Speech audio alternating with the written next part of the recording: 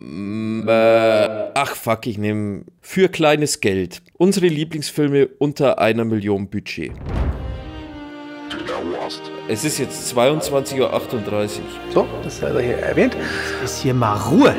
Ich bin der Älteste, jetzt haltet ihr mal einen Sappel. Ich hab ja, also ich habe ja nichts gegen deine Meinung, aber ich habe die leichte Befürchtung, dass wir vielleicht jetzt uns an, an die Haare gehen werden. Also, Never gonna give you up, never gonna let you down. Ich habe hier eine kleine Lanze, die würde ich gerne mal kurz ähm, brechen, wenn ich darf. Bitte. Brich sie. Ich, ich spüre da richtig Aggression.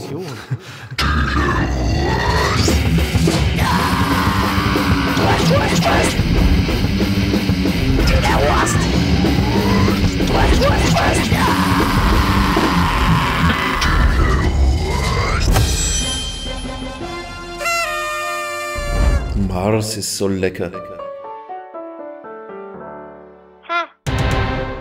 Drei, zwei, eins. Sollte passen. Ast rein. Gut. Ja. Klang so ein bisschen wie Musik machen im Heim. Unser, Genau. Unser, beim Telehorst. unser beim Teleorf. ursprünglicher Name war eigentlich Rolf Zukowski und seine Freunde, aber der war leider schon geschützt. Ja, da haben wir jetzt auch seit zwei Jahren den Rechtsstreit mit Rolf Zukowski beendet und herzlich willkommen zur neuen Folge 15 des besten Podcasts Folge 15? der Welt. Ja, das ist heute Folge 15 und deswegen haben wir heute auch ein ganz, ganz spezielles Geschenk für euch in der Kiste. Aber jetzt erstmal die zwei, die mir immer beiseite stehen, nämlich die beiden anderen, Stu und Andy. Hallo zusammen. Guten Abend.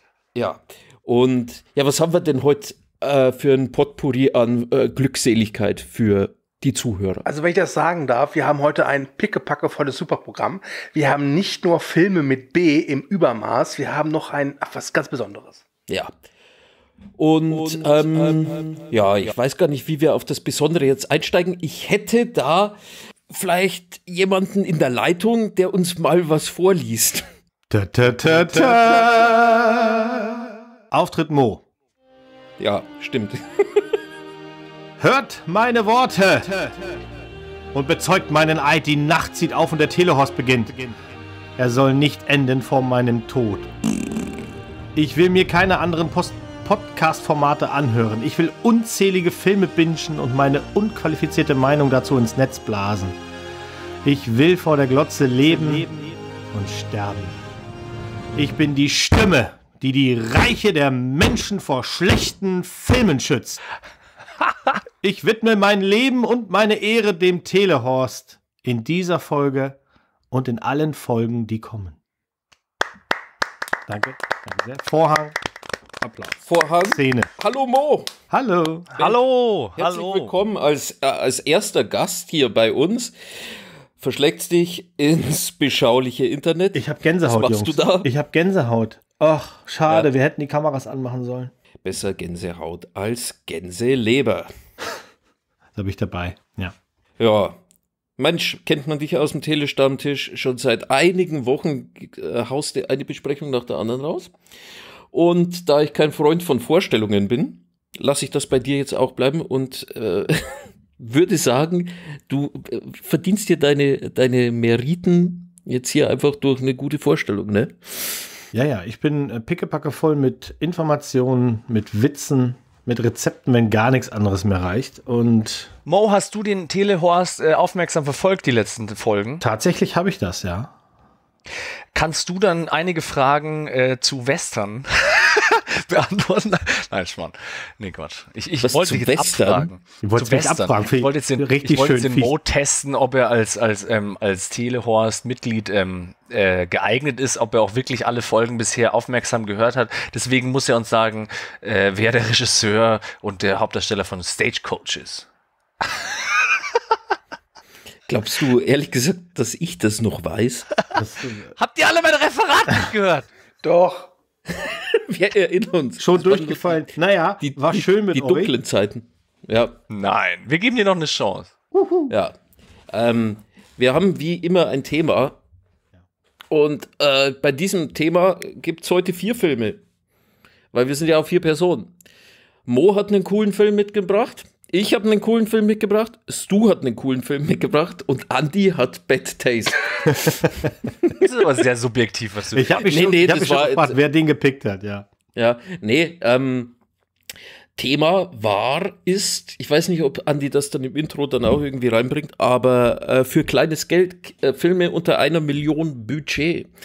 Und, Lauter B-Movies mit B, gell? Ja, und das sind komischerweise wirklich lauter Movies mit B, wobei ich jetzt gar nicht unbedingt sagen würde, dass es B-Movies sind, oder? Nein, also okay, also Bad Taste ist ein EFG-Movie. Äh, Ich würde sagen, der, der läuft halt unter S-Movie wie Studentenfilm. Ja, ja, doch, ja. Wieso? Ich dachte, das Beef steht für billig. Und die waren ja alle billig. B, B steht eigentlich immer für die, ja gut, ja. Oh, Oder ja. Budget. Bei Bronson steht das B für Bier, das ist ja klar. Ja, und für Benis. Genau. Bombardis Bimmelmann. So. Dann haben wir jetzt schon zwei genannt. Bronson, Bad Taste, was haben wir noch auf der Kante? Also ich habe den Debütfilm von Ryan Johnson mitgebracht. Den teuersten von unseren. Was? Es ist der teuerste von allen. Er hat eine halbe Million gekostet. Ja. Wir, haben, wir hätten echt für kleines Geld nehmen können, Filme unter eine halbe Million. Unter einer halben Million. Ja. Das, äh, Ich dachte, Ja. der, ich dachte, den Restbetrag bekommen wir ausgezahlt. nein, nein, nein, nein, Ja, nein. dann nein. bin ich aber jetzt reich. Danke. Nein, ich habe den wunderschönen Film Brick mitgebracht. Mhm. Ein Geheimtipp. Und was hat der Mo mitgebracht? Keinen Ich- Geheimtipp. Nee, also meins ist ganz, ganz sicher kein Geheimtipp. Ich war im Wald und habe die Blair Witch mitgebracht. Die 99er Blair Witch. Ja, auf jeden Fall. Aber ganz lustig, weil damit hast du mir meinen ursprünglichen äh, Pick schon weggenommen, war aber ganz froh drum, dass ich mich dann nochmal umschauen musste, weil wie gesagt, da, ich kam auch bei dem Thema als erstes irgendwie auf Blair Witch, weil der ist halt bekannt dafür, billig zu sein, also billig gewesen zu sein. Deswegen hatte ich den als erstes auch genannt und dann war ich froh, dass du ihn genommen hast, dass ich mich dann nochmal umschauen konnte. Ja, da waren wir alle sehr froh drum. Nee, aber was man ich hätte als zweites Witch- hätte ich sonst Paranormal äh, Activity, aber das war wegen dem B. Paranormal klingt halt scheiße. Nee. es ist, äh, das sind jetzt beides Filme, die hätte ich beim Found Footage äh, Horst dann verwendet. Also Folge 219. Warte, ich notiere mir das kurz. Bei dem Tempo, in dem ihr jetzt die Dinger rausbringt, mal kurz die Wurzel gezogen, hinten links, warte, ich hol mal einen Stift hier und einen Taschenrechner. Also treffen wir uns alle 2024 wieder am Freitag, den 26. Ja, da hast du vollkommen recht. Ich habe Zeit. Ja, Hellseher-Filme. Äh, Andi darf heute den Film aussuchen. Das Ach, gut, dass du im, mich dran erinnerst. Im, Im Angebot. Deswegen wird er jetzt Film wahrscheinlich. aussuchen, er das Thema aussuchen, oder? Ja, Das wäre noch schlimmer. aussuchen darf jeder. Ey, ganz ehrlich, Andi braucht manchmal gefühlt drei Jahre, um seinen Film rauszusuchen. Jetzt stell dir vor, du musst auch unsere noch aussuchen. Ja, dann wären wir mit 2024 aber für Folge 16. Ja, da kommen wir ganz am Schluss dazu. Jetzt machen wir erstmal Ja, ja, ich will jetzt bloß hier, äh, ich mein, guter Moderator habe ich gelernt, seit ich jetzt in der VHS Moderationscoaching, dass du praktisch schon immer so ein bisschen Foreshadowing machst und hm, ich meine, wenn ich die Leute schon nicht begrüßen kann und auch sonst Sprachprobleme habe, wenigstens das könntest du mir lassen. Mach das ruhig. Apropos Foreshadowing, mit was fangen wir an? Foreshadowing würde ja Brick. Hm, Nee, ich glaube, ich würde fast mit Bronson beginnen. Lass uns alphabetisch vorgehen. Nein, äh, Ähm, Ich hätte jetzt gesagt, Budget aufsteigen oder, absteigen. ja, Budget aufsteigen. Nee, ich würde gern Mo, natürlich, weil er Gast ist, als letzten nehmen. Machen wir das. Und dann können wir meinetwegen davor mit dem Budget dann aufsteigend sein. Dann machen wir äh, Bad Taste, Bronzen, Brick und Brerwitsch.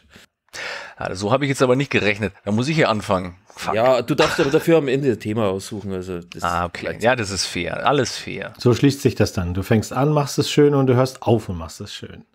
genau. Ja, Bad Taste, ich habe mich sehr gefreut. Ähm, äh, Max, das war deine Erstsichtung, gell? Das war meine Erstsichtung, ja. Du hast ja Es- auch noch kurz gefragt, ob das ein Film ist, nachdem du den Trailer gesehen Ja, hast. ich wusste, ich wusste nicht, ob, ob wir den als Film, ehrlich, es war eine ernste Frage, ob man den als Film gelten lässt oder ob das halt wirklich nur so eine Studentenarbeit von Roger Federer, äh, wie heißt der? hey, ich habe heute ge- Ding, Peter, Peter Jackson, 50 Jackson. ja, war. Genau, 87 kam der schon raus. Da war ich ein Jahr alt. Und ähm, habe mich sehr gefreut, dass der Film da rauskommt. Man merkt, dass genau. der kurz nach Tschernobyl entstanden sein muss. Ich habe ich hab irgendwie vor längerer Zeit mal ein Interview auf YouTube gesehen. Der Film hat anscheinend, also wie viel hat er gekostet? Ich glaube sogar unter 11.000. Ja, 11.000. Also es ist wirklich äh, wenig. 1.000 mehr als Birdemic. Genau. Aber trotzdem ist er auch wenn er jetzt nicht nur auf äh, freudige Gesichter stößt, hier in der Runde vielleicht, ist er trotzdem ein bemerkenswerter Film, sage ich mal. Also immerhin ist es ja das Regiedebüt von einem äh, Dude, den man jetzt mittlerweile in Hollywood äh, kennt mit äh, über 100 Millionen Filmen und so ein Bullshit. Und da kommen wir später noch drauf, wie er es wohl geschafft hat, sich diesen Franchises anzunehmen, das, das ist eine Frage, die ich mir immer noch stelle, weil ich habe zwei, drei Filme von dem, die, die Übergangsfilme nicht gesehen. Aber egal, in dem Interview heißt anscheinend, dass der Film vier Jahre oder fünf Jahre gedauert hat, fertigzustellen. Und diese Produktionsgeschichte ist sehr witzig, weil das halt alles so Kumpels waren von ihm. Sieht man ja auch im, im, Abspann irgendwie, dass die Leute, die da mitspielen, teilweise auch den Tonschnitt, die Musik gemacht haben und so. Das war halt so ein, wie du schon gesagt hast, so ein typisches Kumpel-Studenten-Filmprojekt mhm. irgendwie. Sehr gut. Und dieser eine Typ, der äh, auch ein, so ein Nebendarsteller, der diesen oberhässlichen Bart hat, der hat nämlich Pech gehabt, weil der hat nämlich am ersten Drehtag diesen hässlichen Bart gehabt und dann musste er über vier Jahre diesen scheiß Bart haben, obwohl er den nie getragen hat, nur bei diesem Film. Aber dadurch, dass es so lange gedauert hat, musste er immer zu den Dreharbeiten mit diesem hässlichen Bart wieder ankommen. Aber gut. zum Thema Bart, was ja ganz kurios ist, der Peter Jackson spielt ja auch mit. Der spielt ja einmal diesen Derek da ist er ja ohne Bart. Er spielt aber auch dieses Alien Robot ja. mit Bart. Also da sieht man ihn, das sieht er so aus, wie wir ihn kennen. Und es gibt ja diese Szene, wo Derek Robert foltert, sag ich mal. Ja, ja. Das finde ich total kurios.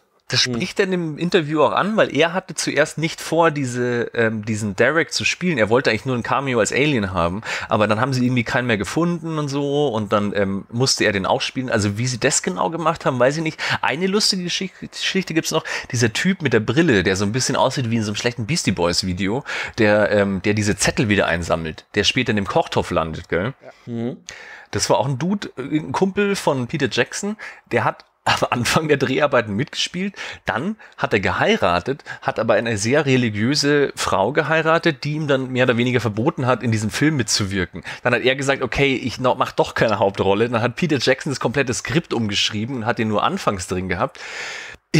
irgendwann zwei Jahre später haben die sich wieder scheiden lassen und dann hat dieser Typ gesagt, ah, ich wäre jetzt doch wieder dabei und dann hat er diese ganze Szene mit dem Kochtopf und dass dieser Typ nochmal auftaucht, hat er dann wieder reingeschrieben, dass der Typ nochmal in dem Film vorkommt. Also dieses Interview ist grandios und diese Entstehungsgeschichte von dem Film ist auch grandios. Zur Handlung brauche ich nicht viel sagen. Aliens landen auf der Erde ähm, es gibt so eine paranormale Division, die sich um so paranormale Sachen kümmert und halt so Aliens äh, versuchen zu erforschen bla bla bla. Irgendwann finden sie Aliens, die haben alle blaue Hemden an und später stellt sich noch raus, dass die Aliens auf der Erde sind, ähm, um die Menschheit als Fast-Food-Zutat zu testen. Und diese vier, fünf tapferen jungen Leute versuchen halt, äh, das zu unterbinden. Kann man noch mehr zur Handlung sagen? Ich weiß es nicht. Nee, glaube, dein ganzes Fachwissen, was die ganzen Gags angeht, das ist ja schon sensationell. Ja, ja, wie gesagt, ich habe dieses Interview noch irgendwie ähm, sehr präsent, weil ähm, ich habe den Film das letzte Mal vor bestimmt 15 Jahren gesehen. In einem Keller von meinem Nachbarn, da haben wir halt immer Splatter-Filme geschaut. Also Branded als erstes natürlich. Und dann musste man natürlich auch später irgendwann Bad Taste sehen. Und um diese ganzen Oldschool Billows Blätterfilm halt abzuhaken. Und ich muss sagen, ich fand damals hat Bad Taste natürlich gegen Branded sehr abgestunken. Branded, nur noch mal für euch äh, planlose Hörer, ist natürlich auch von Peter Jackson. Äh, und ich glaube, ich kurz dazwischen grätschen. Wir reden natürlich dritte? nur über die frei erhältlichen FSK-Fassung der Filme. ähm, es gibt übrigens Bad Taste auch umsonst auf YouTube zu schauen. Das ist aber nicht die FSK 12-Fassung. Das ist mir auch scheißegal. Aber trotzdem, guter Tipp. Äh, danke, Stu. Ich hatte den nämlich auch mal irgendwie auf VHS, irgendwie ähm, halblegal überspielt und so. Und die YouTube-Fassung war qualitativ um einiges besser. Außerdem habe ich keinen VHS-Player mehr hier. Aber wie gesagt, das, äh, das, das frühe Werk Peter Jacksons ist sehr interessant, muss ich sagen. Und als Debütfilm ist es schon faszinierend, fand ich. Was waren eure Gedanken? Ihr kennt den wahrscheinlich auch schon alle, bis auf den Max. Vielleicht, wie seid ihr drüber gestolpert? Das würde mich interessieren, weil. Also ich habe den das erste Mal vor boah, sechs, sieben Jahren geguckt. Ähm, als ich halt, also das war der Peter Jackson-Film, der mir noch gefehlt hatte. Ich hatte da selbst seinen Forgotten Silver, so eine Art Mockumentary, den hatte ich auch schon gesehen, aber Bad Taste fehlte mir. Und ich wusste, was auf mich zukam und ich habe ein Herz für solche Studentenfilme, wenn die halt mit Leidenschaft und Esprit gemacht sind. Und ich finde, das merkt man hier, weil da so viele kleine, tolle Details sind. Ähm, man muss sich alleine mal vorstellen, dass sie halt wirklich die Mündungsfeuer von den Pistolen und äh, Maschinengewehren, einfach indem sie halt auf das Bildmaterial so draufgekratzt haben. Das ist halt sensationell. Und mhm. das gefällt mir. Ich kann verstehen, wenn man mit dieser Art von Film nichts anfangen kann, weil er ist einfach sehr absurd. Er ignoriert wirklich jeden Geschmack komplett. Ähm, aber ich finde, das ist ein Herz, äh, ein Film, der hat den Herz, das Herz am rechten Fleck. Ja, ja, ja. Mo, was ist mit deiner Geschichte mit dem Film? Du, ich weiß gar nicht genau, wann ich den das erste Mal gesehen habe, aber als der rausgekommen ist, war ich schon 15. Und ich. Wie alt bist du denn bitte? Ich bin ein richtig alter Sack. Ja, ernsthaft. ja, ja. Aber ist es nicht schlimm? Ich habe mich nur gewundert. Entschuldigung. Du hast eine junge Stimme. Du klingst so vital und jugendlich. Ja, ja, ja. Nee, ich habe früher ganz viel Olaf Olas getrunken und das hilft mir immer noch. wenn, ihr, wenn ich sag ja noch mal, wir sollten die Kameras anmachen, wenn ihr mich jetzt auch noch sehen würdet, ihr werdet sofort rein verliebt. Aber das ist jetzt äh, neither here nor there.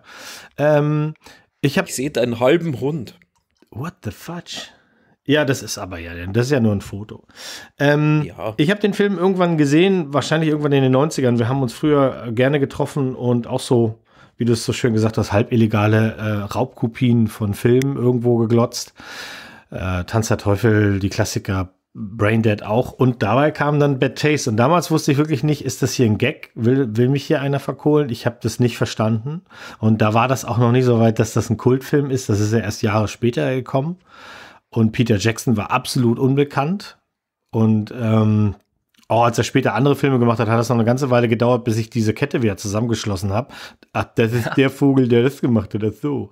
Ich habe den tatsächlich erst vor ein paar Monaten gesehen. Mehr oder weniger.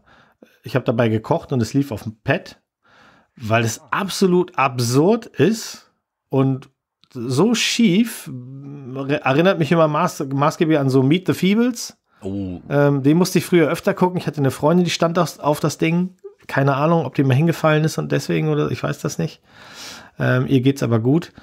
Und ich, ich kann das nur unterstreichen. Man kann den Film eigentlich äh, nur gucken, weil äh, das ist geckig, das kann man mal gucken. Oder weil man wirklich wissen will, wie hat der sich da hin, weißt du, wie hat der 17 Oscars gekriegt mit seinen anderen Filmen, wenn der sowas mal gemacht hat. Oder man knallt sich halt ordentlich einen rein und guckt das als Gag. Ja, Max, was waren deine Gedanken? Ja, meine Gedanken waren erstmal, okay, muss ich jetzt durch?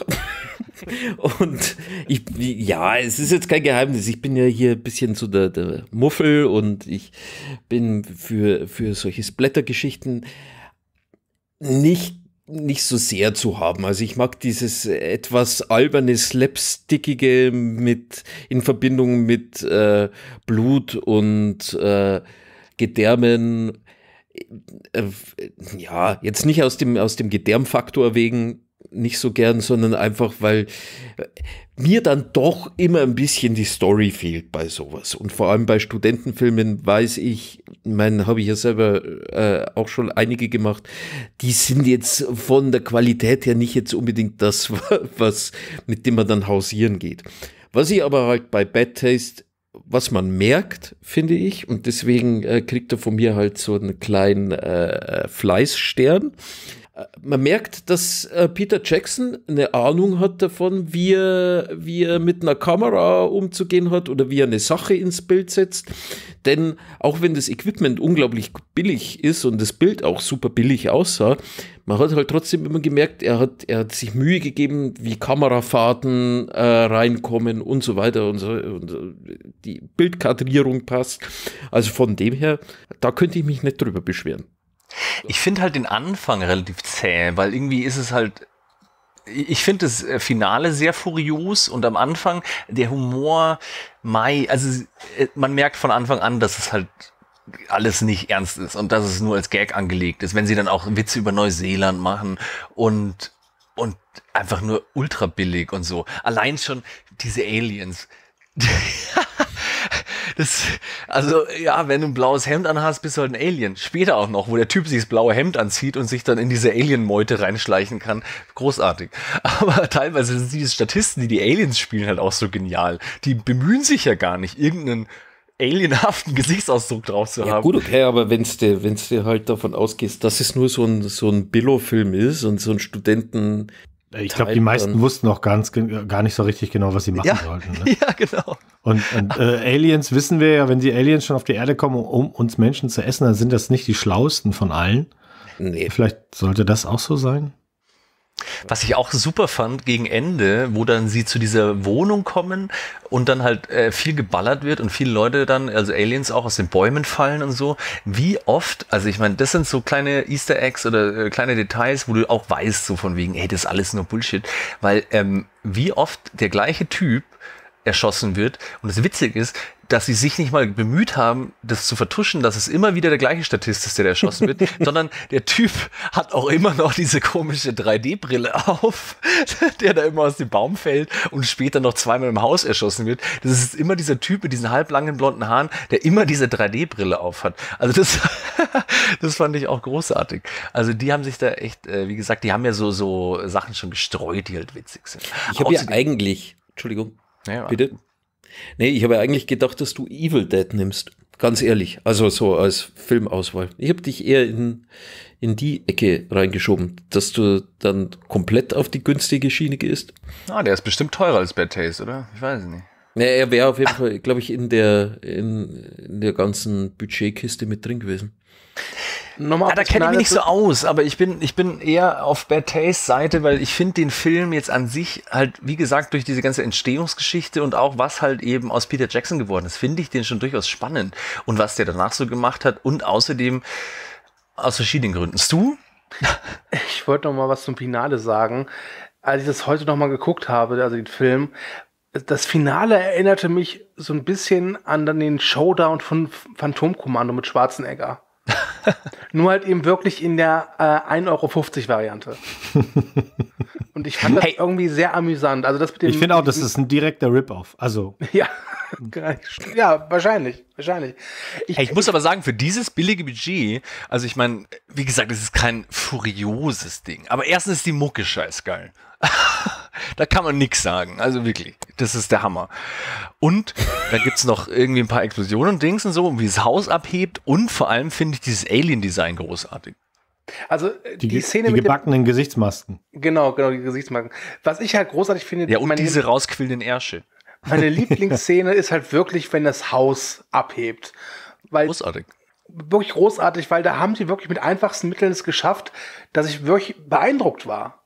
Ja. Na, natürlich sieht das nicht nach Inception aus. aber ich finde, ich finde wirklich, dass man das, also egal wie man den Film findet, aber Respekt für diese Leistung. Weil man muss auch erstmal es schaffen, wirklich vier Jahre da am Ball zu bleiben. Mhm, klar. Was glaubt ihr, wie viele Leute sich sagen, komm, wir drehen jetzt einfach mal für 500 äh, Mark oder Euro oder 1000, keine Ahnung, einen Film und dann nach, einem- nach drei Wochen merken, ah scheiße, es macht nicht ganz so viel Spaß, wie wir dachten. Und dass, dass er dann am Ball geblieben ist mit, seiner mit seiner Entourage, ich fand, finde, das verdient schon Hochachtung.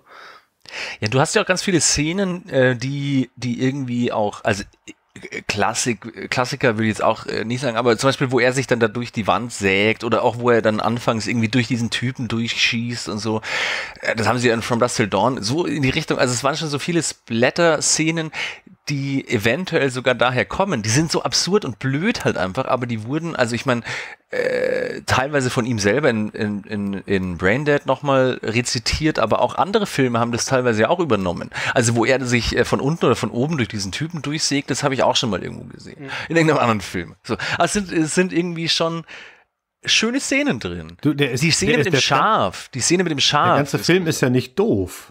Ähm, der, der hat ja schon, das ist ja so ein bisschen absurde Klugheit oder, oder, oder so richtig schräge, äh, schräges Vorhersehen, äh, sich selber später zu rezitieren und, und wahrscheinlich auch zu erwarten, dass andere Leute ihn nachmachen. Also ich glaube schon, dass der wusste, wenn ich das ja richtig anstelle und ich streue die richtigen Gags und ich mache es richtig echt eklig an einigen Stellen, ähm, dass sich das dann durch die Colleges frisst wie eine Pest und dann werden die Leute das auch nie wieder los. Dass das jetzt aber weltweit so ein Ding geworden ist, ich glaube, damit hat auch tatsächlich keiner gerechnet. Ja, vor allem aus Neuseeland kommend. Ich meine, das ist ja, keine Ahnung, das wäre wie wenn es hier in Deutschland in Sachsen-Anhalt einen Film drehen würdest oder so. Also, ähm, das mit dem Schaf äh, würde ich jetzt gerne noch mal hören, ganz kurz, weil das mit dem Schaf, da, da hab, das ist die einzige äh, Hintergrundinfo, die ich noch habe. Ähm, ich habe da keine Hintergrundinfo. Ich fand es nur auch eine ähm, Szene, wo ich ihn wieder geschaut habe, äh, dass ich mir dachte, ach, die Szene kommt aus dem Film. Also äh, ich hatte jetzt da keine Hintergrundgeschichte. Was hast du die, für eine? Die wollten ursprünglich ganz viel mit Schafen drehen. Was sie aber nicht wussten, ist, dass Schafe zu bestimmten äh, Jahreszeiten super aggressiv sind und die haben die ständig aus den, von den Feldern weggejagt. Also die Schafe haben die Schauspieler so oft gejagt und drangsaliert und aggressiv angegangen, dass am Ende halt wirklich nur ganz wenig Schafe Film ist. ist wie bei The Witch. Obwohl diese eine Schlafszene sieht auch so ein bisschen, also von der Bildqualität und so, die fällt ein bisschen raus, sieht fast aus, als hätte so Stockmaterial genommen. Gibt es da nur Wasserzeichen, das im Bild ist. Aber äh, eine Frage interessiert mich jetzt. Vielleicht kennt ihr euch ja als Splatter-Leute da ein bisschen besser aus. Wie, wie groß war denn Splatter-Kino zu der Zeit? Das war schon sehr angesagt. Das war zwar jetzt nicht so richtig mainstreamig, aber das war schon so die Zeit, äh, also Splatter war da schon ein Begriff. Ne? Es gab halt dieses, dieses ganz italienische Zeugs von diesem, ja, Umberto Lenzi und Mario Bava, diese ganzen Zombie-Sachen, Maniac. Ähm, also es, Bad Taste war jetzt nicht einer der ersten. Vertreter des Splinter-Genres. Okay. Daran, daran äh, ähm, habe ich auch große Erinnerungen, wenn wir so Videoabende gemacht haben, dann war es eigentlich immer so, dass wir gesagt haben, wir gucken drei Filme und das war dann immer eine Action, Komödie und ein Horrorfilm. Und das war, da habe ich auch zu meiner Jugend tatsächlich die die, die meisten Horrorfilme verspeist. Und das waren immer so eine Dinger. Auch mal so ein Zombie hing am Glockenseil äh, im Kaufhaus. Die sind dann alle nicht zu der Zeit rausgekommen, aber die waren halt in den Videotheken erhältlich. Hm. Und dann hast du halt sowas geguckt. Und selbst in den Videotheken hast du zum Teil Filme gehabt, die eine saumäßige Qualität hatten, weil das waren oftmals wahrscheinlich auch nicht so Originalkopien. Ja, weil Rips, zu, ja. zu, der Zeit haben ja die Videokassetten tatsächlich noch richtig, richtig viel Geld gekostet. Und wenn du so einen kleinen Laden hast und da, wo ich herkomme, das ist ein ganz kleiner Ort, ähm, ich glaube schon, der hat sich da selbst geholfen. Ja, der Film hat das aber auch. Und je, jeder hat es halt kopiert und kopiert. Die, ich weiß noch genau, die Kopie, die wir gesehen haben von Tanz der Teufel, die war so schlimm. Die hatte so viele Aussetzer und die war so zerfetzt, dass ich jahrelang dachte, das soll so ich kenne mich da jetzt, wie gesagt, in dieser Geschichte nicht so aus. Ich war dann noch ganz klein. Aber ähm, der Film ist vielleicht auch einer der ersten, die das ja äh, deutlich persiflieren irgendwie und das halt ein bisschen auf die Schippe nehmen. Vielleicht gab es da auch schon was davor und so, aber ähm, nur brutale, üble Filme zu machen, ist ja die eine Sache, aber dieses Genre nimmt er auch ein bisschen auf die Schulter, weil ich meine zum Beispiel allein diese komische, äh, ja, äh, das sind jetzt die Aliens, die haben so blaue Hemden an. Das hat mich irgendwie an diese frühen Zombie-Filme erinnert, weil da hatten die doch auch teilweise immer diese blauen Hemden an. Irgendwie äh, Kaufhaus-Zombies, was auch immer, keine Ahnung was. Mhm. Und so, oder auch ganz viele Szenen irgendwie die wirkten, als wären es jetzt äh, Hommagen an alte Zombie-Filme oder so. Keine Ahnung. Ich glaube, das mit den Hemden liegt wirklich nur daran, weil sie kein Geld hatten. Ja, das auch, aber wie gesagt. Äh aber so ein paar Kameraeinstellungen glaube ich auch. Also wenn du wirklich ja. so ein paar Kameraeinstellungen dir anguckst, dann äh, findest du das wieder und zwar zum Teil in großen Filmen. Also ich erinnere mich da so an, an ein, zwei Szenen, wo die Kamera so ein bisschen schräger waren. Also quasi so ein, so ein Early äh, Dutch Shot oder wie man das nennt, Dutch mhm. Angle. Und dann so ein, zwei Bilder, die er sich auf jeden Fall von anderen großen äh, äh, Meistern abgeholt. Also wie du vorhin schon gesagt hast, der wusste halt, wie man eine Kamera hält, ne? Ja. Mhm. Er, also eine meiner Lieblingsszenen im Film ist halt wirklich äh, die, wo dieses Auto mit diesen Pub-Beatles da rumfährt und einen dieser Außerirdischen halt platt macht und dann dieser Schnitt auf, was, wer ist es, Ringo oder Paul, Paul McCartney, glaube ich, oder? Ja. Großartig. Wo er so verwirrt schaut, ja, ja, genau. Ja, allein schon dieser, äh, wie hieß dieser Typ? Also, das ist ja mein Lieblingstyp in dem Film, dieser, dieser äh, ähm, B-Movie Rambo, weißt schon. Also Derek. dieser, ähm, nicht der oder? Typ, dem das Gehirn immer rausfällt, also nicht Peter Jackson, okay. sondern dieser andere Typ in dem Unterhemd, der am Schluss so geil auf die Bazooka ist. Heißt der nicht irgendwie Xavier oder so? Nee, nee. Äh. Ozzy? Ozzy, Ozzy, genau, genau, Ozzy. Das ist ja der absolute Killer. Der Typ ist der Hammer. Also, den habe ich ja abgefeiert wie Sau. Und der in seinem komischen Unterhemd mit seiner komischen ähm, Rambo für Arme Attitüde mit dieser geilen 80s Mucke, wie er ihn auf Actionheld macht, das fand ich großartig. Den habe ich abgefeiert. Du da so in Nostalgie schwebst. Superklasse. Na, ich habe mir gedacht, wie wie gefährlich waren die Dreharbeiten eigentlich? Weil ganz zu Beginn, da kämpfen sie ja mal an dieser Klippe. Das habe ich mir auch gefragt, gedacht, ja. Ein Schritt blöderweise in die falsche Richtung und der liegt zwölf Meter weiter unten. Ja, das muss man aus einer filmischen Perspektive schon auch mal schaffen. Also wie gesagt, entweder die haben völlig auf irgendwelche Sicherheitsmaßnahmen geschissen oder sie haben halt wirklich es geschafft, weil ich habe mir auch gedacht, okay, der Film hatte halt nicht mal pff, also hat halt so um die 10.000 irgendwie und da gab es keine Crew, kein nichts und so und keine Special Effects oder so. Aber wo sie dann in der Klippe so stehen und so, dachte ich auch mal so, Gott, oh Gott, dann hängt der Typ da und so. Egal wie sie es gemacht haben, aber trotzdem haben sie es für dieses billige Budget so rübergebracht, dass es doch für mich zumindest in meinem kleinen Kino jetzt hier zu Hause, äh, dachte ich mir schon so, um Gottes Willen, wie, was passiert da gerade? Und wie hat Peter Jackson diese Szene gedreht, wo er sich selber in den Fuß haut und Dings, kann man Statisten machen und so, aber trotzdem clever gemacht, aber trotzdem an dieser Klippe, da dachte ich mir auch teilweise, Hut ab, sportlich. Mhm. Du, die, die sind da aufgewachsen. Die hängen wahrscheinlich in, was machst du sonst in Neuseeland? Die hängen jeden Tag an den Klippen. ja. Dengel, Dengel, Die Dengel. haben da keine Schwerkraft, das ist Magnetismus. Auf jeden Fall, äh, nochmal ganz kurz, um auf Ossi zurückzukommen. Ähm, äh, der hat es auch wenigstens konsequent gemacht. Der hat gesagt, hier, das ist die beste Performance, die er je abliefert. Danach hat er nie wieder was gedreht. Mhm. Terry Potter seines Zeichens. Ist er nicht nach Hogwarts gegangen?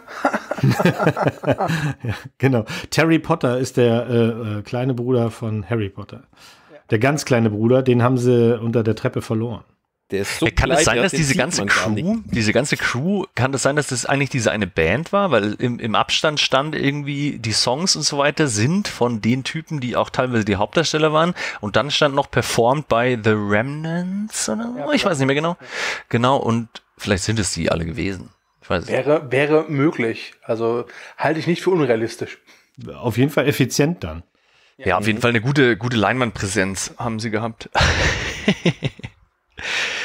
naja, trotzdem ist es einfach schön, Peter Jackson, also für das, dass er sich diese Rolle von diesem Derek, dieser totale Weirdo, der sich immer Alien-Gehirne in den Kopf schiebt und so, äh, eigentlich nicht spielen wollte, hat er das auch sehr überzeugend gemacht, finde ich. Ja, wobei ich echt Probleme damit habe, ihn ohne Bart zu sehen. Das finde ich auch strange. Aber in dem Interview zum Beispiel damals hat er den so wohl noch nicht getragen in, äh, in äh, standardmäßig und so. Ich muss auch noch sagen, es ist eine schlechte Idee bei dem Film äh, Abend zu essen. Oh. ja, also es gibt diese eine Szene, wo diese Aliens ähm, speisen, diese komische Milchbrühe mit Bröckchen. Das war wirklich, uh, das war nicht schön. Ja, ja. Haben wir gerade eine schöne Erbsensuppe gemacht. Dafür sah die ein bisschen zu milchig aus. Wie bringt man denn jetzt hier in 2020 äh, jemanden äh, also diesen Film nah? Wie, wie verkauft man denn, dass man die, sich den ansehen sollte? Ja, sag halt einfach, das ist der Film von dem Typen, der Herr der Ringe gemacht hat. Guck ihn mal an, der ist geil. Was glaubst du, viele Leute so mit äh, Tanz der Teufel ihren Freunden näher gebracht haben, die gesagt haben, das ist der, der erste Film vom Regisseur von Spider-Man? ja, das habe ich auch in dem Interview, hieß es nämlich auch, haben sie ihn auch gefragt, so, dass er als neuer Sam Raimi gefeiert wird irgendwie. Äh, wann kam Tanz der Teufel raus? In den 70ern, oder? Nee, 80er. Oh, nee, nee, nee. Ach, auch 80er. Ja, okay, okay. Ja, dann war es ja gar nicht so viel früher. Also das fand ich nämlich komisch, dass sie ihm dann so, so von wegen, er, wär, er würde jetzt in die Fußstapfen von irgendwelchen Horror-Splatter-Großmeistern. Aber ganz ehrlich, so ein bisschen Ähnlichkeiten ihrer Filmvita haben sie schon. Ja. Na, sie haben halt beide mit diesen, ja, ich will sagen, Underground-Film angefangen, die dann populär wurden in so einer gewissen ja, Blase, nenne ich es mal, und dann Kulthits wurden. Äh, ja. Und das haben sie dann weitergeführt und dann haben sie versucht, den ernsten Film. Also so ein Sam Raimi hat halt auch sowas gemacht wie ähm, äh, ein einfacher Plan. Das ist auch ja, ein Film, aber ich wenn du den guckst, äh, würdest du nicht denken, dass der Typ vorher sowas gemacht hat wie Tanz der Teufel. Und Peter Jackson hat dann auch Heavenly Creatures gemacht. Ne? Ich finde, mhm. bei dem war die Spanne noch einiges größer. Also ich meine, du, du bist unser Filmlexikon. Mo vielleicht auch? Max? Ich bin äh, auch, aber jetzt bei Peter Jackson vielleicht nicht. Nee, da bin aber, ich jetzt raus. Okay, da machst du Bad Taste, Brain Dead und Meet the Feebles. Und dann The Frightness. Frightness? Nee, nee, nee, nee, nee, nee. Nach Bad Taste, äh, Quatsch, nach äh, Brain Dead hat er halt diesen Heavenly Creatures gemacht. Der erste Film mit Kate Winslet. Der ist großartig. Und der, der ist großartig, ja. Und der ist sehr kreativ. Da merkst du auch schon seine Handschrift so ein bisschen, aber der ist, hat, hat mit, mit Splatter nichts zu tun. Wirklich gar nichts. Und mit was für einem Film hat der sich dann sein äh, Ticket für Herr der Ringe verdient? Eigentlich war es so, also nach Heavenly Creatures hat er halt den Frighteners gedreht. Äh, der hatte ja Unterstützung bekommen von Robert Zemeckis, weil der den Jackson wohl sehr gern mochte. Und dann äh, war halt eben die Zeit, dass Hollywood gerne halt Herr der Ringe machen wollte. Damals noch mit Harvey Weinstein. Und der Peter Jackson war halt großer Fan und hat das vorgeschlagen und Warner, die halt zuvor mit ihm Frighteners gemacht haben. Ich meine, der Film war jetzt kein kapitaler Hit, aber er, er war schon in Ordnung, was die, was die Zahlen betraf. Und dann haben sie es einfach versucht. Ich, ich glaube aber trotzdem, einfach, dieses Projekt dem dann anzuvertrauen, ist schon krass, weil ich meine, äh, ich, ich glaube auch, es kommt vielleicht sogar ein bisschen, weil ich meine, Herr der Ringe und so ist ja ziemlich Production Design und Creature Design, sage ich jetzt mal, und so Special Effects aber, schwer. Ganz ehrlich. Und, äh, Peter Jackson hat dafür ein Händchen, weil er ja anfangs auch bei, bei Bad Taste und so ist er komplett alleine verantwortlich für diese ganzen Effekte gewesen. Und ganz und ich glaube, der hat ein gutes bei Händchen. Herr der Ringe dafür. arbeiten hier teilweise auch die Leute mit, die bei Bad Taste mitgemacht haben. Der Schnitt, dieser Jamie Selkirk, der hat mit Peter Jackson Bad Taste geschnitten, der hat dann auch Herr der Ringe geschnitten. Alter. Geil. Mhm. Ne? Und dass Herr der Ringe so gut ist, liegt ja auch daran, dass sie halt wirklich viel, ich nenne es mal handwerkliches gemacht hat, viel haptisches. Das ist ja mit einer der Grund, Gründe, warum der Hobbit so scheiße ist, weil da tragen sie ja keine echten Rüstungen mehr. Da haben die halt irgendwelche grünen Punkte, die dann gerendert wurden zu irgendwelchen Rüstungen. Ne? Mhm. Ja, aber wie gesagt, ich kannte jetzt diesen, diesen Übergang nicht so genau. Also es wäre für mich so, wenn du jetzt äh, Bad Taste, Braindead siehst und du sagst so, hier hast du 300 Millionen und mach Herr, Herr der Ringe. dachte ich auch so, what? Also es war ein Risiko. Ich meine, das Risiko hat sich ja komplett ausgezahlt. Und, und das Risiko war, war gewiss größer, als jetzt einen Sam Raimi zu nehmen, der ja vor Spider-Man auch noch viele andere Sachen gemacht hat. Ne? Aber trotz allem finde ich, dass deren Werdegang schon vergleichbar ist ich finde es halt schwierig, bei einem Film, der Bad Taste hast, heißt auch noch, äh, dem Typen dann ähm, das zuzutrauen, dass er doch dann den äh, Geschmack in Anführungszeichen beweist, aus so einem Film dann doch was äh, stilistisch und ästhetisch äh, einigermaßen Wertvolles zu machen, das nicht irgendwie in so eine Ekelrichtung zu fahren. Aber das hätte er auch nicht machen können, weil das Studio wie, war. Wie hättest du das machen wollen? Das ja, eben. Legolas Studio. aus, äh, keine Ahnung, Pfeil und Bogen besteht aus Knochen und Gedärme oder was? Ja, genau. der, der Debütfilm von Ron Howard hieß Vollgas bis die Fetzen fliegen. Ja. Hm. Und der hat dann später sowas gemacht. Ist immer noch ein geiler Titel. Ja, Frost Kannst Nixon du sagen, was du willst. So. Also. Naja, ich meine, wir werden wahrscheinlich eh irgendwann mal eine Folge haben mit den Debütfilmen äh, bekannter Regisseure und dann ja, noch mal werden dann wahrscheinlich ein paar Sachen rausgepackt. ja, dann nehmen wir nochmal Bad Taste und nochmal Brick. Da haben wir heute schon zwei gute Kandidaten. Ich würde jetzt sagen, äh, kommen wir mal, äh, bevor wir jetzt hier noch bis um drei Uhr nachts sitzen, zum Fazit. Oder habt ihr noch was zu dem Film zu sagen? Ähm. Nö, ich würde ich würd auf jeden Fall, äh, auch wenn ich ihn selbst nicht genossen habe, ähm, würde ich ihn trotzdem Leuten, die die Filme machen wollen, unbedingt aufs, äh, ans Herz legen. Das ist, glaube ich, eher so ein Film, den du, wenn du selber Filme machst oder äh, sehr filminteressiert bist, auch his filmhistorisch, dann äh, sollte man den schon sehen. Das ist so ein typischer, äh, ich mache jetzt einfach mal und egal wie, ich, ich weiß immer noch nicht, wie sie die Szene mit dem Haus gemacht haben. Kran und Nebelmaschine, keine Ahnung was und so, aber. Ich glaube ähm, nicht, dass da ein Kran dabei war. Kran kostet was. Damals hat Kran ja. gekostet.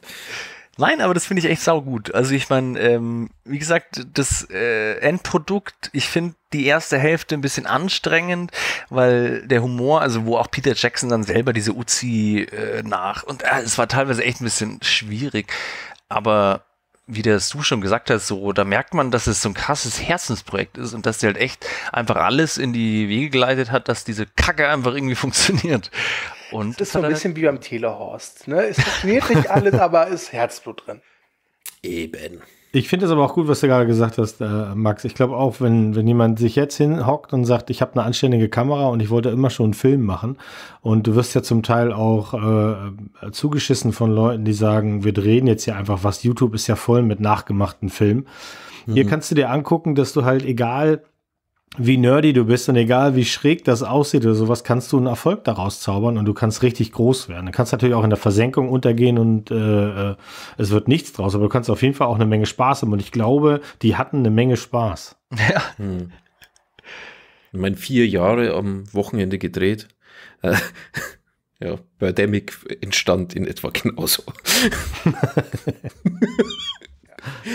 ja, äh, äh, ich weiß nicht, wollen wir Punkte vergeben? Ja, auf jeden Fall. Mo, fängst du an. Oder nee, ähm, du bist neu. Ähm, lass den Stu das mal vormachen. Wie vergibt man Punkte? Genau. Das Bildungsformat Stu erklärt die Welt. Also, lieber Mo. Wie, wie gibt man Punkte? Zuerst einmal werde ich ein kurzes Fazit machen. Ich versage also, wie mir der Film so insgesamt gefallen hat. Da wiederhole ich auch gerne Phrasen oder Sätze, die ich schon vor schon erwähnt habe. Wie zum Beispiel so. Ich finde, dass Bad Taste von Peter Jackson natürlich kein fehlerfreier Film ist, aber das kann ja auch gar nicht sein. Aber man merkt zu jeder Sekunde, wie viel Herzblut und Detailliebe, die dort Peter Jackson hier gearbeitet hat. So, das war schon mal ein guter Anfang. Äh, jetzt gehe ich auch noch auf Äußerungen meiner Kameraden ein. Was der Max gesagt hat, also dass er damit nichts anfangen kann, kann ich nachvollziehen. Es ist halt kein, in Anführungszeichen, normaler Film. Und auch das, dass dieser Film wirklich von Leuten angesehen werden sollte, die einen Film drehen möchten, dem kann ich nur beipflichten. Und jetzt, damit es nicht zu lange wird, kommen wir zur Punktevergabe. Ich gebe dem Film gut gemeinte 3,5 von 5 Punkte. Es ist ein wirklich sehr schöner Splatterspaß. Da ist doch Luft nach oben. Ähm, aber insgesamt war ich doch sehr erheitert und zufrieden, als ich den Film heute geguckt habe. Und so, lieber Mo und so, liebe Kinder, geht ein Fazit. Ah, danke. Ach, ich liebe diese Rubrik. Ach, schön. Mir läuft es immer noch eiskalt den Rücken runter. Ich muss mich kurz fassen. Also ich habe hier auch nur 0 bis 5, ja?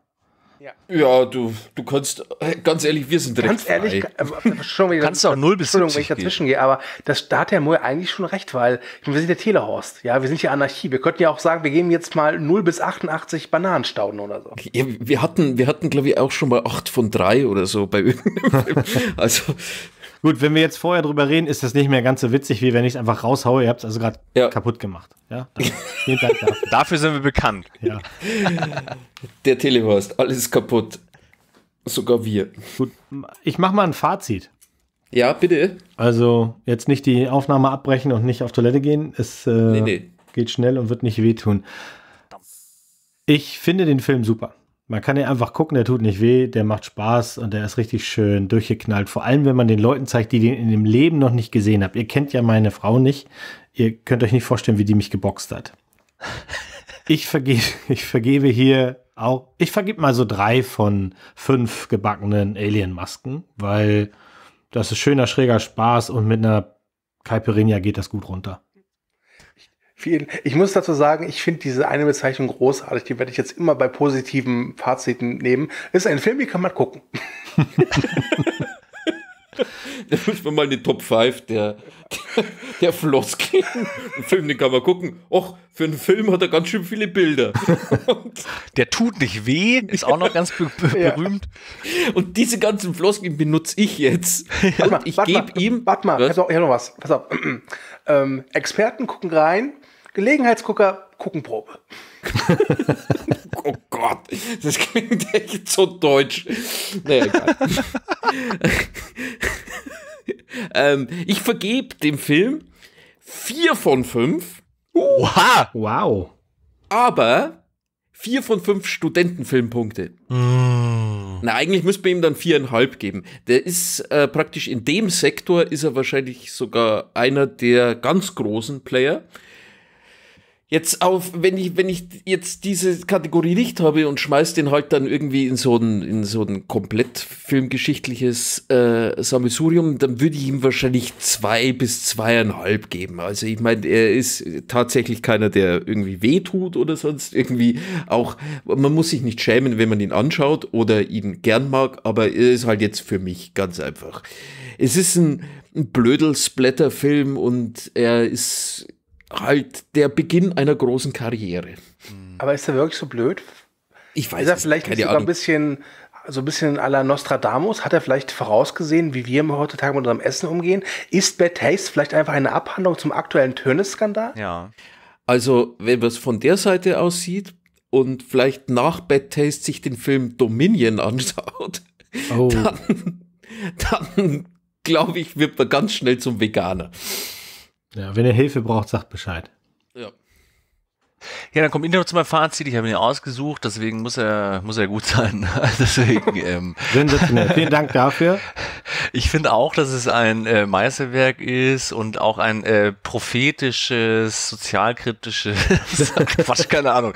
Nein, äh, ich finde es schwierig, weil ich, ich, ich fand die erste Hälfte dann doch nicht so lustig, wie ich sie in Erinnerung hatte. Ich fand es anfangs auch ein bisschen schwierig, wenn man diesen Aspekt, das ist der Anfangsfilm und hier studentisches äh, Gaudi-Projekt, dafür ist er natürlich grandios.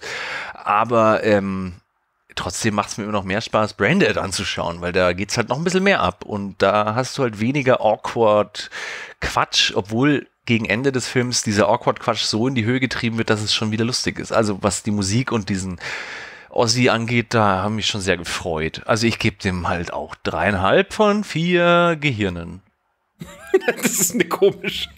Dreieinhalb von vier Gehirnen. Nein, von fünf. Entschuldigung. Okay. Also sieben von elf. Ja. Und kommen wir doch von einem Großmeister des Rechnens zum nächsten. Danke. Einem kleinen Penis. Tom Hardy. Ach, ich wollte gerade sagen, da heißt doch Reffen, nicht Rechen. Also, okay. Ähm, Bronson ist jetzt auf der Liste. Der nächste. Bronson. Ja, Charles Bronson. Wir unterhalten uns nicht über den Schauspieler, nein, wir unterhalten uns über Michael Peterson, der sich den Kampfnamen Charles Bronson zugelegt hat.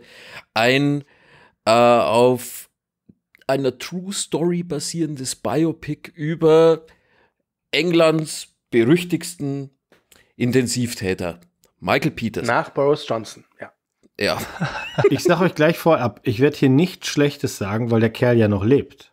Das ist Und scheiße. wenn der rausfindet, wo ich wohne, dann der, Der verprügelt dich. Darf einfach. ich hier kurz, ich wollte dich nicht unterbrechen, Max, aber Nee, das nee, würde hier doch. doch ganz gut passen, weil du hast ja schon mal äh, den Film in die engere Auswahl gezogen für, ich weiß nicht, das Thema hatten wir noch nicht, aber äh, Thema äh, Biopics über Arschlöcher. Ja. genau. Also nur für so viel dazu, lieber Michael, wenn du es hier hörst. Ja, und ähm, war es nicht sogar Biopics über Idioten? Ich weiß es nicht genau. Es könnte eins von beiden sein. Aber ja, Michael Peterson ist halt ein unbelehrbarer, sehr aggressiver Mann, der mehr Zeit im Gefängnis verbracht hat oder derzeit auch noch verbringt, ähm, als er Zeit draußen verbracht hat.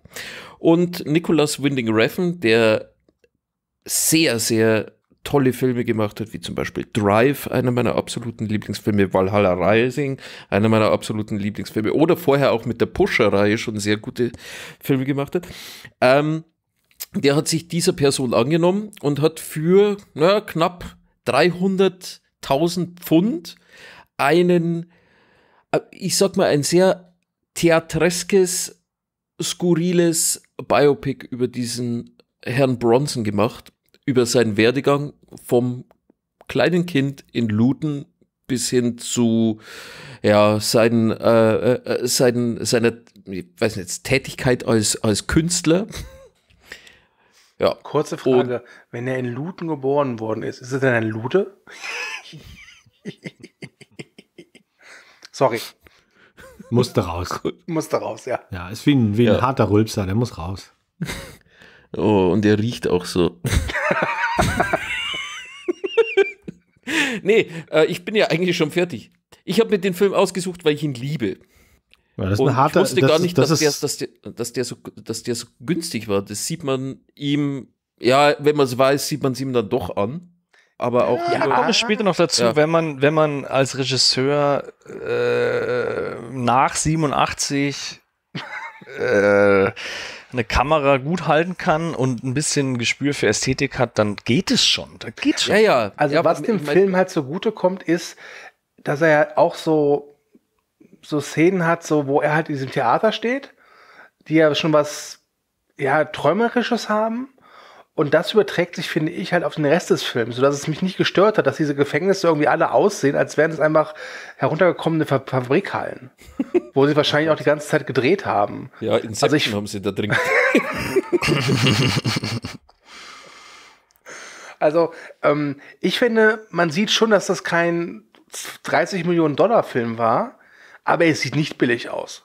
Nee, das nicht. Ich meine, man merkt es halt, also ich meine, wenn man, wenn man ein bisschen so in dem, in dem Business auch arbeitet oder mal ein paar Kameras in der Hand gehalten hat, man merkt es halt dann doch an der, an der Qualität des Bildes mhm. an sich. Also da geht es jetzt wirklich darum, dass eine, eine High, High, High-End-Kamera halt einfach äh, weniger krisselt oder so. Aber es gibt ja auch Filme äh, heutzutage auch, die das halt absichtlich teilweise einsetzen und so. Also deswegen, ich, ich, ich kenne mich jetzt nicht so aus. Ich, ich frage mich nur, wenn ich so einen Film sehe, weil der war wirklich handwerklich und Dings und ich meine, natürlich lebt er auch noch von seinem äh, großartigen Hauptdarsteller und so weiter. Aber ich frage mich dann, wenn ich so einen Film sehe, bei anderen Filmen dann, wo die dann so viel scheiß Geld verbrennen. Keine Ahnung. Naja, viel in Gagen. Das stimmt. Man mag nicht glauben, wie viel Gagen kosten. Das stimmt. Production Design, wenn du Sachen wirklich stimmt. erst bauen Set, musst. Sets, genau. Sets. Genau. Ich meine, wenn du ein Set da hast, da kommen wir jetzt bei Brick dann später auch mit dazu, das halt einfach nicht umgebaut werden muss. Ja, da dann, musst du halt einfach ein bisschen kreativ werden. Da musst du ein bisschen kreativ werden. Und ich meine, was halt bei, bei Reffen wirklich, was man bei dem Film, finde ich, bei Pusher vielleicht vorher auch ein bisschen gesehen hat, das ist, der Mann kann einfach auch mit, äh, mit Lichtern umgehen und auch mit ja. farbigen Lichtern.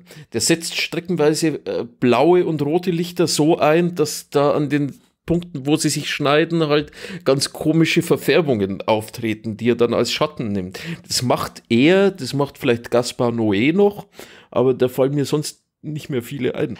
Ich bin mit dem Werk jetzt nicht so vertraut von dem lieben Herrn. Also Drive habe ich natürlich gesehen und äh, diese neue Serie, wie heißt die nochmal? Too Old to Die Young.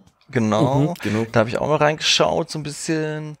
Ich glaube, ich mag den Stil von dem sehr gerne. Ich kann aber schon mal vorpreschen und sagen, dass ich den Film nicht mag. Ich habe nämlich, wo du ihn äh, ausgewählt hast, habe ich mich sehr gefreut, den endlich mal zu Ende zu schauen, weil ich habe den vor äh, fünf, sechs, sieben, keine Ahnung wann, ich habe den schon mal gesehen. Ich glaube, das war so im, im Zuge von, oh, Tom Hardy, so mhm. äh, äh, hier Inception und Dark Knight Rises und so. Tom Hardy, den mag ich aber, der ist ein cooler Typ. Ich schaue mir jetzt ein paar Filme mit dem an. Und dann Bronson klang interessant, sah interessant aus. Tom Hardy geil gespielt und Dings und so. Hab den Film angemacht und wusste bis heute nicht mehr, warum ich ihn nicht zu Ende geschaut habe. Und jetzt weiß ich es wieder. Egal. Ja. Mo. Ja. Schwierig. Lass mal Senf dazu. Schwierig. Also ich habe äh, Bronson gesehen, das ist eine ganze Weile her. Und auch weil ich, ich habe nicht mal erkannt, dass das Tom Hardy ist. Ich, ich kann dir nicht, äh, irgendwie ging es um, ach, guck mal hier, ruckzuck ist die Fresse dick, den gucken wir jetzt. und dann haben wir den angemacht und dann ist das ja im Grunde sowas wie ähm, äh, Freddie Mercury mit, mit, mit jede Menge Muskeln hinter Gittern Leute vermöbeln. Am schönsten ist die Szene, wenn, wenn Bill Watson sagt, hey yo. Another one bites the dust. Yeah. ich, ich wusste wirklich I'm nicht genau, wo ich das hin tun soll. Äh, ich habe auch erst ganz, also deutlich später erfahren, dass das alles echt ist und dass das alles wirklich so passiert sein soll. Natürlich ist da das Theatralische deutlich übertrieben etc. Ähm, ja. Aber wenn man sich auch mit der Person, die dieser Mensch tatsächlich war, ein bisschen auseinandersetzt, dann ist das schon ein richtig schräger Film. Und ich fand den gut gemacht. Und ich glaube übrigens, diese Krisselkamera und das, ähm, dass das so sein soll. Ich glaube, das ist mhm. mit Absicht so.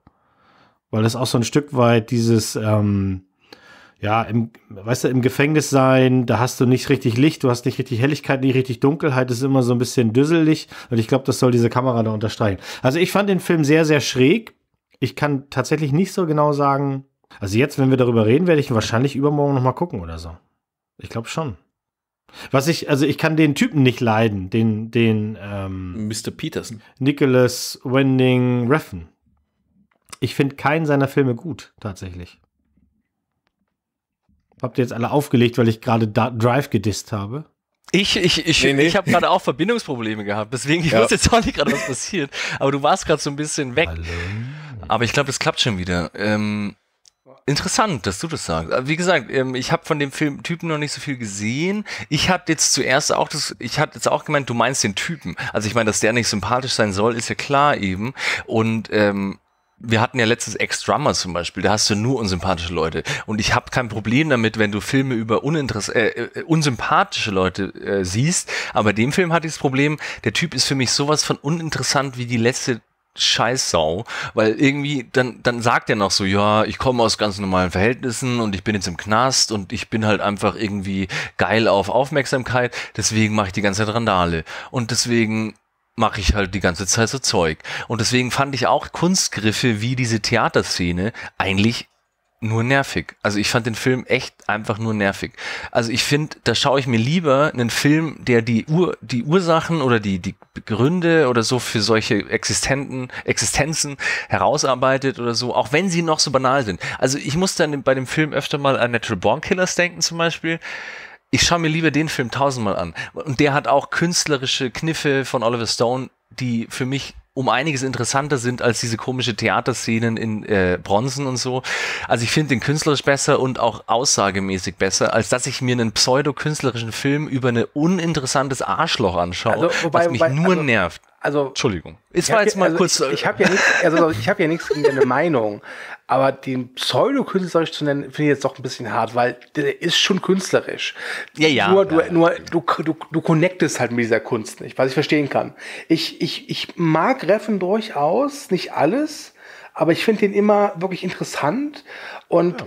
ich fand Bronson ist jetzt auch nicht mein Favorit von Reffen und ich und ich äh, würde niemanden abs absprechen wollen, dass Reffen irgendwie scheiße ist, weil dafür ist er immer zu polarisierend.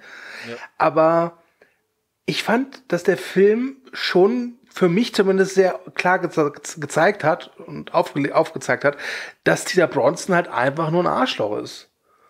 Und ja, in, ich, und in dem Rahmen mochte ich dann diese Darstellung nicht so gerne. Also ich fand, dass gerade diese, diese Theatermomente, die ich wirklich gut fand, ähm, mir ganz klar gemacht haben, das ist halt einfach ein Arschloch, der sich halt selbst darstellen will. Jetzt natürlich hm. die mhm. Frage, ähm, ist es gut, dass der Reffen ihm wirklich dann auch diese Plattform bietet? Eben. Genau. Weil es durchaus Momente gab, wo ich auch denke, okay, ähm, hier hättest du gerade die Chance gehabt, ihn wirklich noch ein bisschen mehr zu, ich sage sag es mal, demaskieren, was er nicht tut. Ne? Das ist für mich der große Kritikpunkt. Andererseits fand ich ihn von der Machart dann schon sehr berauschend. Es gab eine Szene, die habe ich mir wirklich dreimal angeguckt, weil ich ihn einfach herrlich fand, wo er ähm, sediert ist in dieser Nervenheilanstalt und dann sitzen oder stehen da diese ganzen ähm, armen Seelen und dann läuft Pet Shop Boys, It's a Sin ja. und sie fangen an zu tanzen und ähm, da muss ich gestehen, tat er mir nicht leid, aber die anderen Leute taten mir leid die, diese Szene liebe ich. Ich glaube, wir sind da echt auf einer Schiene. Und mein größter Kritikpunkt ist tatsächlich auch das, dass er mir an manchen Stellen den lieben Herrn Peterson, der gar nicht lieb ist, viel zu cool darstellt. Ja. Also wie so ein, keine Ahnung, als wäre wär also der absolute Anti-Held ja, mit mehr, ich glaube mehr Held. Ich glaube tatsächlich, dass der Reffen diesen Film komplett aus der Perspektive von diesem Peterson gedreht hat. Und ich glaube, das ist das Problem. Er hätte entweder, äh, was heißt entweder, es wäre vielleicht lobenswert gewesen, es hätte mir gefallen, wenn er noch eine Gegenperspektive gezeigt mhm. hätte. Ähm, zum Beispiel dieser eine Kunstlehrer, den er da gefangen nimmt. Ähm, ich habe mir nach dem Film mal ein paar Sachen durchgelesen. Der hat danach nie wieder arbeiten können. Ja. Ne? Das war das Problem bei mir zum Beispiel. Ich habe auch irgendwie, ähm, ich habe den ja wie gesagt damals schon mal angefangen. Der war mir dann irgendwie zu doof und damals habe ich den vielleicht noch in, unter einem anderen Gesichtspunkt geschaut. Vielleicht damals war es mir einfach ein bisschen zu oh, weiß ich nicht, da war es mir vielleicht irgendwie zu langweilig oder so, keine Ahnung. Aber jetzt hatte ich, äh, jetzt, jetzt habe ich dann nochmal durch euch halt äh, den Film äh, aufgemacht und dann habe ich mich noch informiert und so. Ich wusste noch grob, dass das eventuell eine reale Person ist. Dachte mir, jetzt muss ich mich noch schlau machen. Dachte mir, nee, jetzt schaue ich mir erst den Film an und dann mache ich mich schlau über den. Aber nach dem Film hatte ich überhaupt keinen Bock mehr, mich schlau zu machen. Ich, weil ich schon. dachte so, diese dumme Drecksau, der interessiert mich keinen Fingerdreck unterm Fingernagel. Keine Ahnung was. Also, also das also, ist wirklich, keine Ahnung, ich, ich verstehe es schon, wenn Filme ähm, über unsympathische Leute gemacht werden und dann das eventuell stilistisch cooler rüberbringen, als es real ist und so. Aber dem Film fand ich es halt wirklich stilistisch recht daneben, ehrlich gesagt. Ich muss sagen, ich hatte danach wirklich Bock, mich mal reinzulesen, was er eigentlich gemacht hat oder was es ist und wo weicht der Film vielleicht von der Realität ab. Und der Film, von welchem, aus welchem Jahr ist der nochmal? Kann das jemand sagen? 2008. 2008. 2009 oder 8, ne? Ja, mhm. und der, das, das, da waren halt Sachen dabei, die sie weggelassen haben, wo ich auch mit den Beinen geschl geschlackert habe. Also er war zum Beispiel mal verheiratet mit einer, mit einer äh, islamischen Frau. Ähm, und Da ist er dann in der Zeit zum Islam konvertiert und hat sich fortan Charles Ali Ahmed genannt.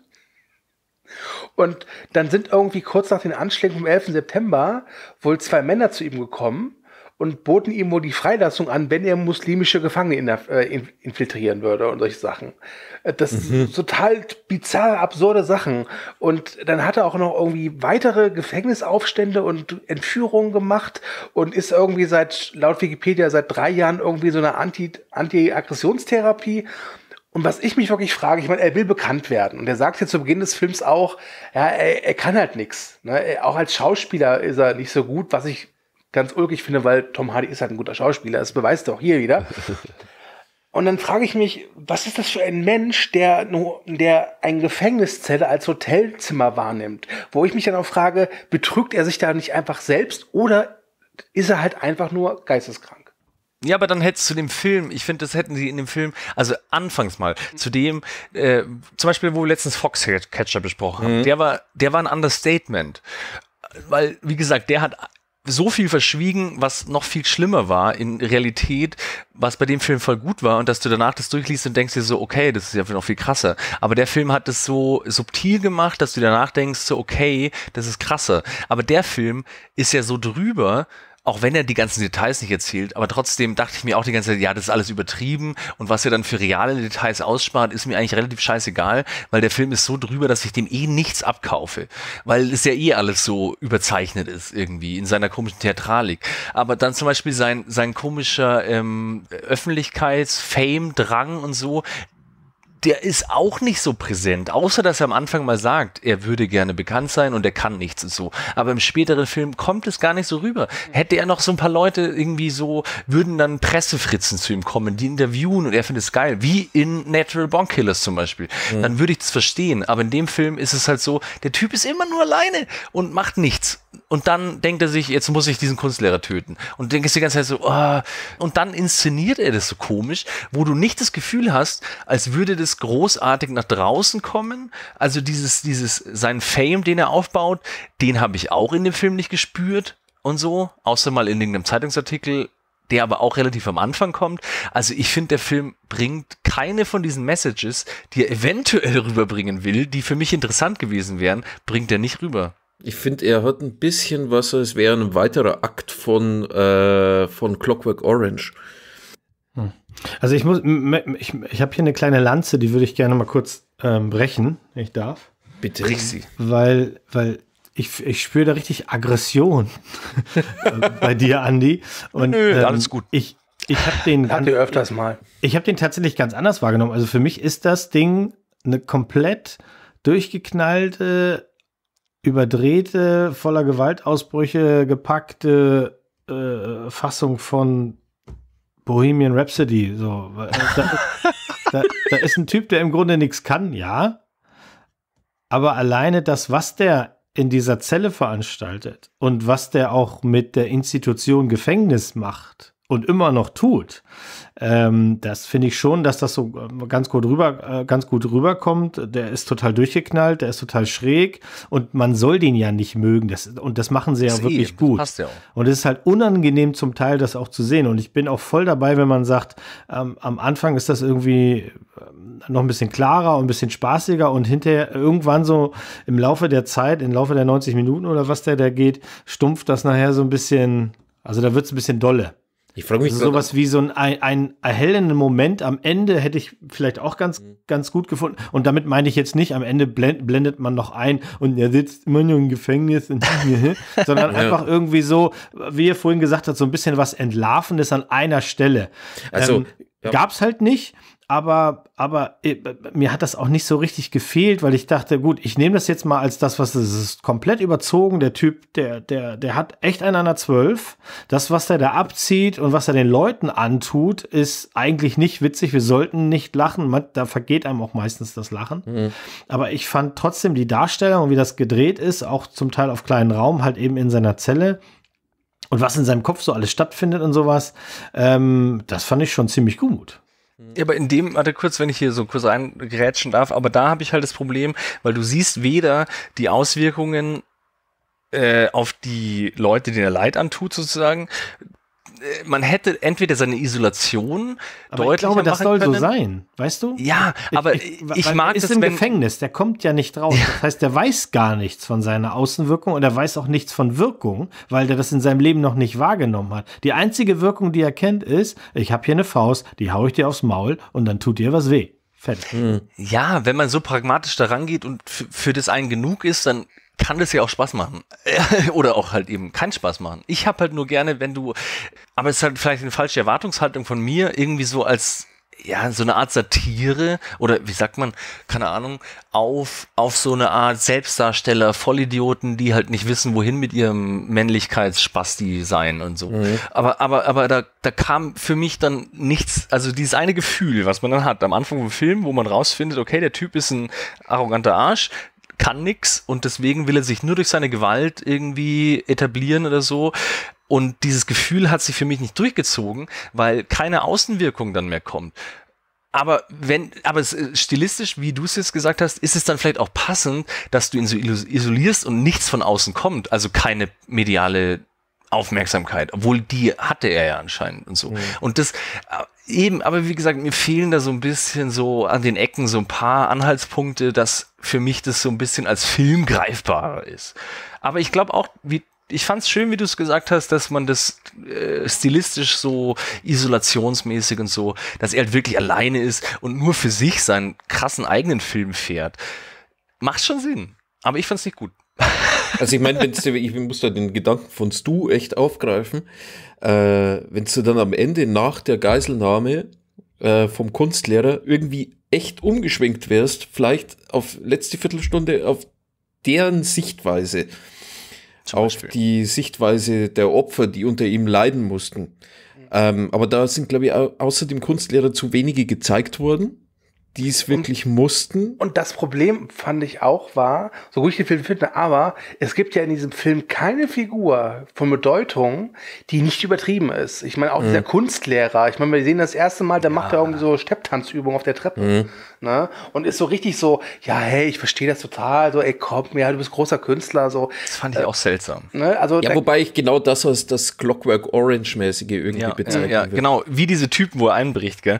Dieser, dieser alte ja. Mann der ist ja aber, auch so ein bisschen schrullig und so. Ja. Wie, wie stellt, also, äh, ich finde gut, dass es hier, es gibt ja, äh, was dir hier so ein bisschen fehlt, ist ähm, ähm, die, die Sicht von außen und ein bisschen Erklärung. Oder mhm. ne, was hast du getan hier? Aber ich glaube, das wäre genau falsch gewesen. Weil, weil, für, zu was soll das gut sein? Du hast 90, 90 Minuten, guckst du ihm dabei zu, wie er äh, äh, Leute ver vermöbelt, verkloppt, äh, im Gefängnis im Grunde macht, was er will ständig Geiseln nimmt, äh, immer wieder irgendwie an, äh, rauskommt aus der Nummer und dann machst du ein Flashback und zeigst diesen Armen. Das hätte was von Austin Powers. nee, nee, das meine ich gar nicht. Aber zum Beispiel, ähm, wie gesagt, Geschmackssache. Ich hätte ja auf jeden Fall. Also ich will ich hätte eher gehabt. Ich, ich, ich glaube, man muss gerne gehabt, dass sie ja nee. Jetzt bist du dran. Äh, okay. Ich glaube, man muss hier einfach für sich selber so, ähm, ich glaube, du wirst da so richtig reingerotzt in, in diese Gefängniszelle. Du hockst da hinten links in der Ecke, guckst ihm zu, wie er sich schwarz anmalt und, und diesen armen Menschen da quält. Unter anderem, der macht ja noch deutlich andere Dinge. Mhm. Und ähm, da sollst du für dich selber eben auch so ein bisschen die Linie ziehen, nehme ich das jetzt wahr als das, was es ist, nämlich eine ganz furchtbare ähm, Foltersituation. Oder bin ich einfach nur Zuschauer im Kopf von diesen offensichtlich verstörten Typen. Und ich habe es halt eher so gesehen. Und dann, dann lässt man automatisch das, was passiert daraus und so, das lässt einen dann so ein bisschen kälter, ohne dass man selber kalt ist, sondern einfach, weil man sich entschieden hat, ich bin halt im, im, im Brain von diesem Typen. Und mhm. ja, und, und der nimmt das alles nicht so wahr, ne? Dann hätte ich es aber äh, schöner gefunden, wenn sie das drastischer gemacht haben, dass du wirklich verstört bist und so. Weil so war das halt, du schaust dem Typen zu, wie du es gerade beschrieben hast, der sitzt halt im Knast und prügelt Leute. Und diese Prügelszenen waren ja teilweise auch, die waren ja nicht drastisch, die waren halt einfach nur so, ich gehe jetzt wieder in die Zelle, wenn sich die Situation bietet, dann erwürge ich jemanden, dann prügel ich ein bisschen und dann bin ich wieder in der Einzelhaft und so. Ich meine, wenn du einen zermürbenden Film willst, der keine Pointe hat und keinen Höhepunkt oder keine Message, dann ist der Film vielleicht richtig. Aber ja, gut, den hat aber Reffen eh danach. Ich denke an Tom Hardys also. Penis. Ich hätte halt gerne, ich habe halt gerne immer noch so eine ich finde es ja nicht schlecht, wenn man sich Filme anschaut, die einen ein bisschen ratlos zurücklassen, wo man sich dann selber seine Meinung bilden muss. Aber in dem Fall fand ich es halt so der hat mich so leer zurückgelassen, dass ich mir halt echt dachte, so ja cool, ich habe jetzt den Typen zugeschaut, den es anscheinend wirklich gibt, der halt nur im Knast sitzt und so blöd ist, dass er halt, dass er halt einfach nichts anderes kennt, als Leute zu prügeln und wieder auszurasten. Und das war halt für mich sowas von unspannend und un interessant. Es war weder gesellschaftskritisch noch irgendwie äh, psychologisch irgendwie einsichtig oder wertvoll. Äh, wie gesagt, also ich hatte da keinen, keinen Faden, an dem ich mich so ein bisschen entlanghangeln konnte. Was wahrscheinlich mein Problem war. Ich weiß nicht, ich weiß gar nicht, ob da überhaupt, also äh, man hätte ja noch mehr Kritik irgendwie am Gefängniswesen der damaligen Zeit irgendwie äh, äh finden können. Ähm, ja, ja, aber, aber, wozu? Guck mal, ja, eben, das, das ist jetzt gerade so, gerade so diese Frage, die ich mir stelle, ob, ob das nicht ein komplett anderer Film dann wäre, weißt du? Ja, ja, aber es taugt ja auch, der Film taugt ja auch nicht als Psychologisierung von diesem Typen, weil da kriegst du ja auch nichts mit. Wenn du eine Erklärung lieferst, dann, wenn du eine Erklärung lieferst und die suchst du entweder in seiner Kindheit oder die suchst du dann halt eben im Gefängnissystem, dann rechtfertigst du das ja und das darfst du genau, nicht. Genau, das das finde ich ja auch okay, dass er es nicht macht, weil es gibt ja genug Filme, wo dann der Psychokiller, wo es dann heißt, so von wegen, hey, der kommt aus einer ganz gut situierten Familie und so. Aber dann geht's halt um was anderes. Dann geht's darum, um sein Streben nach Popularität oder sein, sein, sein Egozentrismus oder sein, keine Ahnung, narzisstisches Drecksschwein oder so, keine Ahnung was. Aber das, das arbeitet der Film für mich zumindest halt auch nicht aus. Also der, da kommt nichts rüber. Also bei mir kam keiner von diesen Ansätzen, die ich in dem Film gerne gesehen hätte. Ich finde es auch okay, dass du es nicht entschuldigst, dass der so ein Spasti ist. Das finde ich voll gut. Also wie gesagt, das wäre noch schlimmer, wenn es dann heißen würde, so, wenn da so ein Flashback kommt, so, ich wurde von meinem Vater sexuell missbraucht, deswegen bin ich jetzt so ein blöder Arsch. Keine Ahnung. Wobei, das sie, ja, auch wobei sie ja schon, was mir gerade auffällt, schon versuchen, ihn stellenweise so ein bisschen ja, nicht sympathisch zu machen, aber schon so, dass er halt seine Prinzipien hat. Es gibt ja diese eine Szene, wo er sediert ist und da kommt dieser Typ zu ihm und sagt so, ja, äh, dass er halt gerne mit jungen Mädchen rummacht, also die wesentlich jünger sind als er und er sich ja genau diesen Typen dann ausguckt, den er dann versucht zu, äh, zu, zu strangulieren. Das fand ich auch strange, ehrlich Na? gesagt. Da ist es ja gerade das, das, das, das perfide, dass viele das wahrscheinlich so verstehen, dass er ihn erwürgt oder ihn aus, auserkoren hat, weil er halt ein Pädophiler ist, aber eigentlich, glaube ich, macht das halt nur, weil er so da rauskommen kann. Mhm. Ja? Nee, ich denke, was, was der Film eigentlich auch viel zeigt, sind, sind zwei Dinge. Erstens mal Reffens äh, äh Umgang mit Gewalt. Da musst du mal seine Filmografie einfach anschauen. Bronson, was, was er bei Pusher vorher gemacht hat, war ja eigentlich eher so Gang, Gang-Aggressions, äh, Gewalt, Raubkino. Und ähm, dann hast du halt hier sowas. Dann bei Valhalla Rising hast du den äh, Brutalo. Im Grunde genommen, Drive ist noch der harmloseste Film. Und bei Only God Forgives gibt es ja eigentlich auch bloß um, um Rache und Gewalt. Also man merkt schon irgendwie, dass, dass da, keine Ahnung, vielleicht ist die Verfilmung von Gewalt sein keine Ding. schöne Jugend. Und deswegen hat sich dieser Bronson für ihn auch irgendwo angeboten, weil er irgendwann mal gehört hat, hey, da sitzt ein Intensivtäter, der ist die Verkörperung von Gewalt und der hat keine Triebkontrolle und nix. Und dann denkt er sich, okay, wie kann ich das jetzt so darstellen, dass es irgendwie künstlerisch wertvoll ist und natürlich die Darstellung dann auch dazu führt, dass man sich als Zuschauer selbst hinterfragt. Äh, ab wann äh, wird halt praktisch diese, ist so Triebkontrolle entschuldig, äh, entschuldbar sozusagen.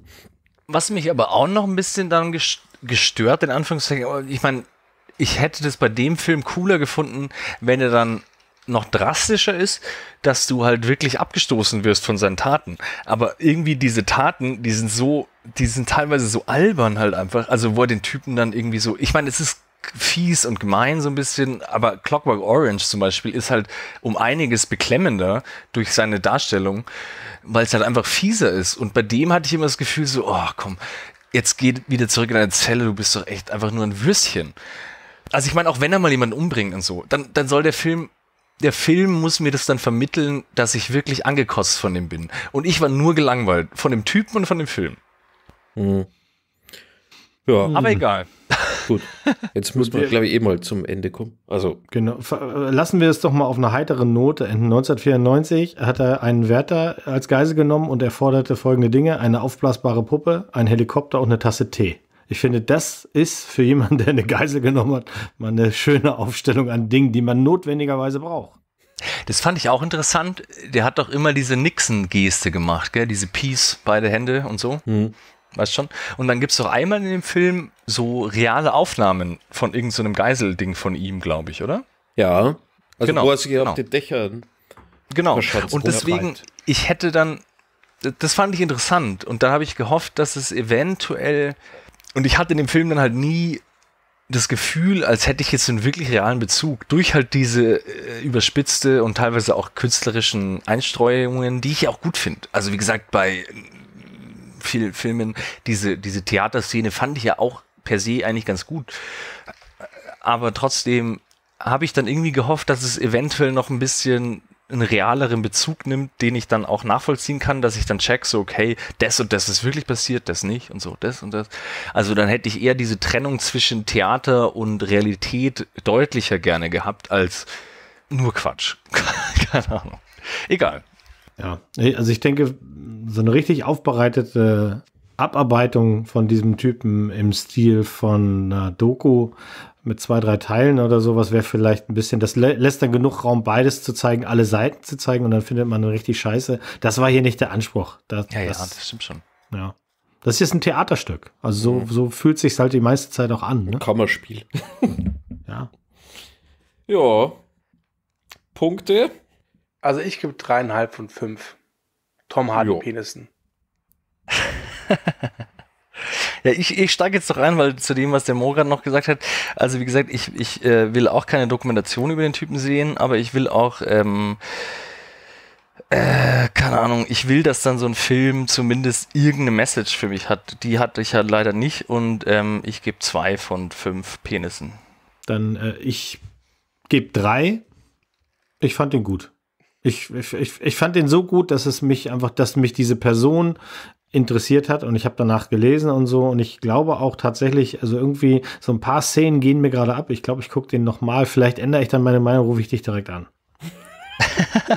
Das Gespräch bitte aufzeichnen. Ähm, ich gebe dreieinhalb Pimmel. Weil nur halbe Pimmel sind. gute Ich wollte noch Pimmel. mal dazu sagen, ich meine, zwei ist ja nicht, ist ja nicht eine kompletter Murks. Also ich Nee. fand den Film ähm, optisch und schauspielerisch super, das passt schon alles. Mir hat halt, wie gesagt, nur so eine Art, äh, bei so einem Thema hätte ich halt, wie gesagt, gerne so einen äh, entweder satirischen oder kritischen äh, Beigeschmack, der mir halt völlig gefehlt hat. Aber egal, wie gesagt. Das, Also das hat zwei kriegt ja alleine schon mal Tom, Tom Hardy. Das Genau. Hat, das hat Äh, er. einen kriegt Tom Hardy und einen kriegt der Reffen. Ja, okay. Der Reffen Aber, geht jetzt aber zum Tom, Einkaufen. Tom Hardy ist nicht äh, der Garant, dass diese Dinge gut werden. Lasst euch das sagen von jemandem, der Capote gesehen hat, äh, äh, Capone gesehen hat. Oh, Ja, oha. das ist ganz schlimm. Ja. Ich gebe zweieinhalb, weil 0,2 kriegt noch äh, Tom Hardys Penis. 0,2. Damit haben wir auch die Länge des Liedes festgelegt. Wunderbar. genau.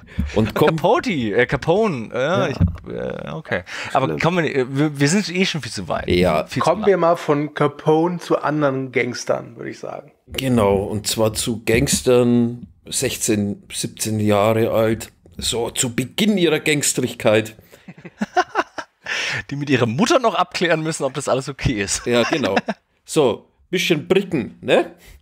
Stu, Ja. was hast du denn in deinem Paket?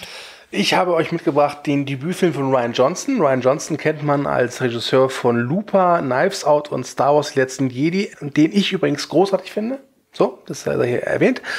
Brick ist sein Debütfilm, ich glaube aus dem Jahre, lass mich lügen, 2005, ja. Ja. Hat knapp eine halbe Million gekostet und ist im Grunde ein total klassisches Film-Noir-Kriminaldrama mit dem kleinen Zusatz, dass es eben nicht in irgendwelchen New Yorker Hinterhöfen spielt oder in Chicago während der Prohibition, sondern in der damaligen Gegenwart auf einer kalifornischen Highschool. Oh, und Ihr könnt jetzt alle fünf Punkte geben, wir machen weiter. unser, unser Brandon, unser Hauptdarsteller, hat ein Problem mit seiner Freundin, denn die ist tot. Genau, genau. Joseph Gordon-Levitt spielt Brandon Fry, einen der coolsten Filmfiguren, die ich je gesehen habe. Er hat immer die Hände in den Jackentaschen. Ja, ja, ich finde großartig. Ähm, und der bekommt. Der Film hat so viele Kleinigkeiten. Egal. Super. Jetzt lass doch mal Tom Hardys Penis in Ruhe. So. Kann ich ganz kurz mal unterbrechen, Jung? Ja. Ja, Mo. Unten bei mir im Haus ist Lärm. Ich müsste ganz kurz mal runtergehen. bitteschön. Dann warten wir einfach so lange. Lassen wir laufen oder mache ich Pause? Äh, ich würde sagen, Lass lass laufen. einfach weiterlaufen. Das, das ich beeile mich. Tschüss. Äh, Es du und Max sind voll gut darin, Pausen zu überbrücken. Ich muss auch mal kurz in den Flur, weil da sind auch gerade Leute laut. wa- was hast du für Leute? im Ach bitte, du gehst jetzt raus, eine rauchen. Sag doch.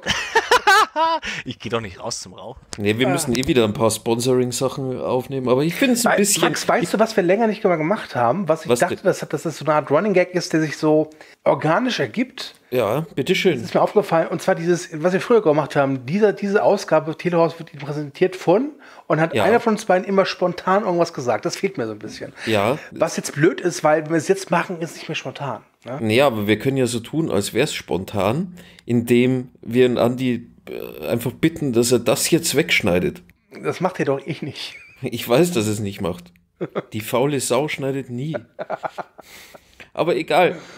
Ich weiß gar nicht. Max, wollen wir vielleicht, wollen wir vielleicht ein bisschen Werbung für unsere Podcasts machen, die wir so Ja, wir haben so viele Podcasts jetzt. Ähm, eigentlich sind es noch genauso viele wie vor zehn Folgen. Aber egal. Nein, nein, es sind auch ich, meinte, keine. ich meinte, dass, dass wir beide ja uns in ein paar Tagen zusammensetzen, um die Netflix-Dokumentation Fear City zu besprechen. Oh ja, Mensch, da, ähm, äh, da, da, da freue ich mich schon drauf, denn Ja. äh, ich meine, passt jetzt auch ganz gut zu diesem ganzen Brick-Thema. Da geht es ja dann wirklich um, um echte Gangster. Und äh, wie New York den, den Beinamen Fear City bekam. Und zwar vier nicht als Zahl, sondern Stadt der Angst. Ja. Und dann haben wir beide auch noch zwei wunderschöne Casts aufgenommen. Einmal zu I Still Believe, Aha, aha. der jetzt bald im Kino läuft, und zu Das Sekret, also The Secret, der auch bald im Ja. Kino läuft. Und da kann ich sagen, ja, war schön. Es kommt jetzt, Stu und Max haben jetzt dann eine Achterbahn der Gefühle in den nächsten Ausgaben. Haben wir erstmal Das Sekret, dann I Still Believe, dann kommt The Climb, einer, die wir finden, wie wir finden, der besten Filme dieses Jahres. Neben Crip Camp. Ja, Das klang, klang nach Informationen, die ich ähm, eventuell im Nachhinein rausschneiden könnte. ja natürlich, das, das wissen wir von dir.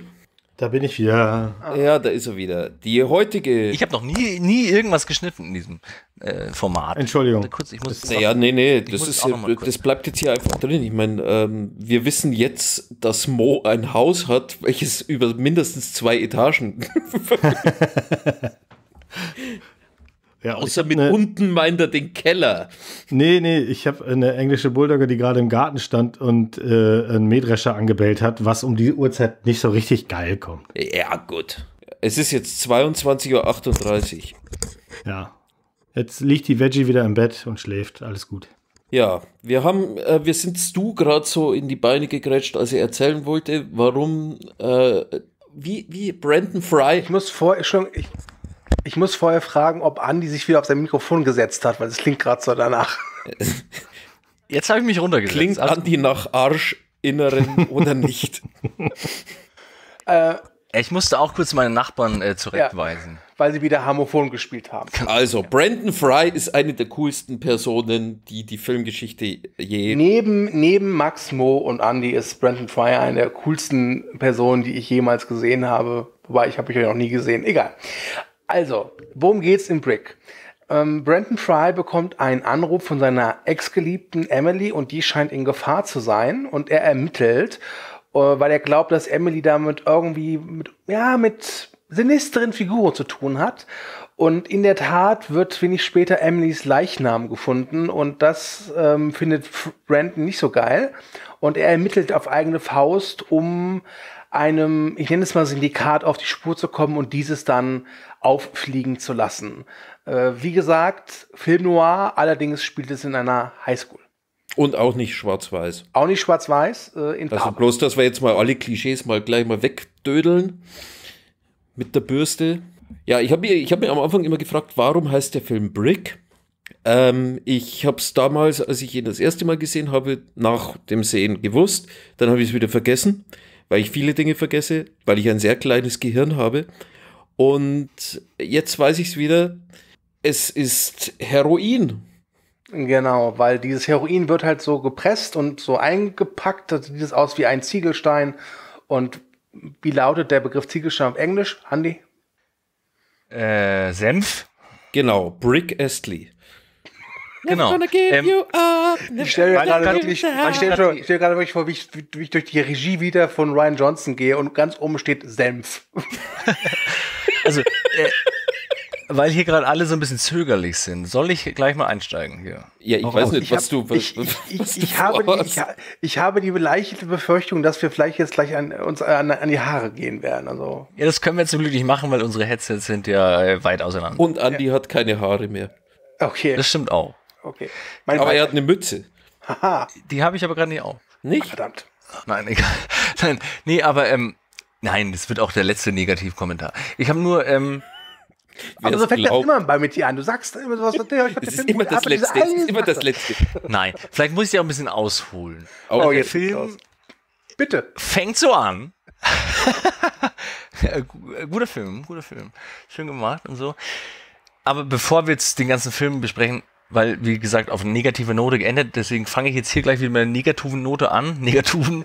Ähm, Brick, Brick, Brick, Brick. Ähm, dieser ganze Bullshit mit irgendwelchen komischen, äh, äh, was man auch aus dem Trailer gesehen hat. Ich habe mir was ganz anderes unter dem Film vorgestellt, was aber nicht den Film schlechter gemacht hat, sondern im Gegensatz eher besser.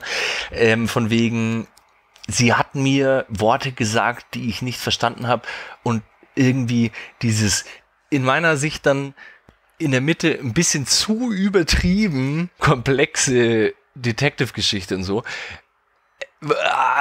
Ich weiß nicht, ich werde den Bogen später spannen, okay, aber trotzdem. Du, du willst damit sagen, dass das. Ich weiß gerade nicht, auf was du hinaus. Was ich, glaube, Titel? Ich, ich glaube, ich hab's. Warte, warte.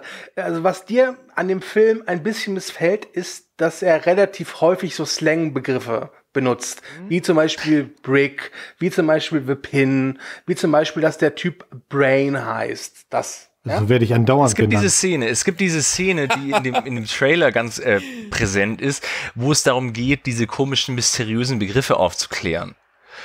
Und diese Szene fand ich jetzt im Nachhinein von dem Film relativ unnötig und auch ein bisschen äh, irreführend. Ich weiß nicht. Also hätte es für mich nicht gebraucht. Ich verstehe schon, warum sie es gemacht was haben. Was du meinst. Ich verstehe dich schon seit drei Minuten nicht mehr.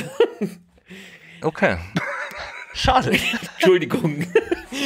Aber du, du kritisierst gerade Dinge, ohne sie zu kritisieren. Deswegen kritisier doch mal irgendwas. Nein, ich, ich, ich finde den Film lustig. Ich finde den Film gut.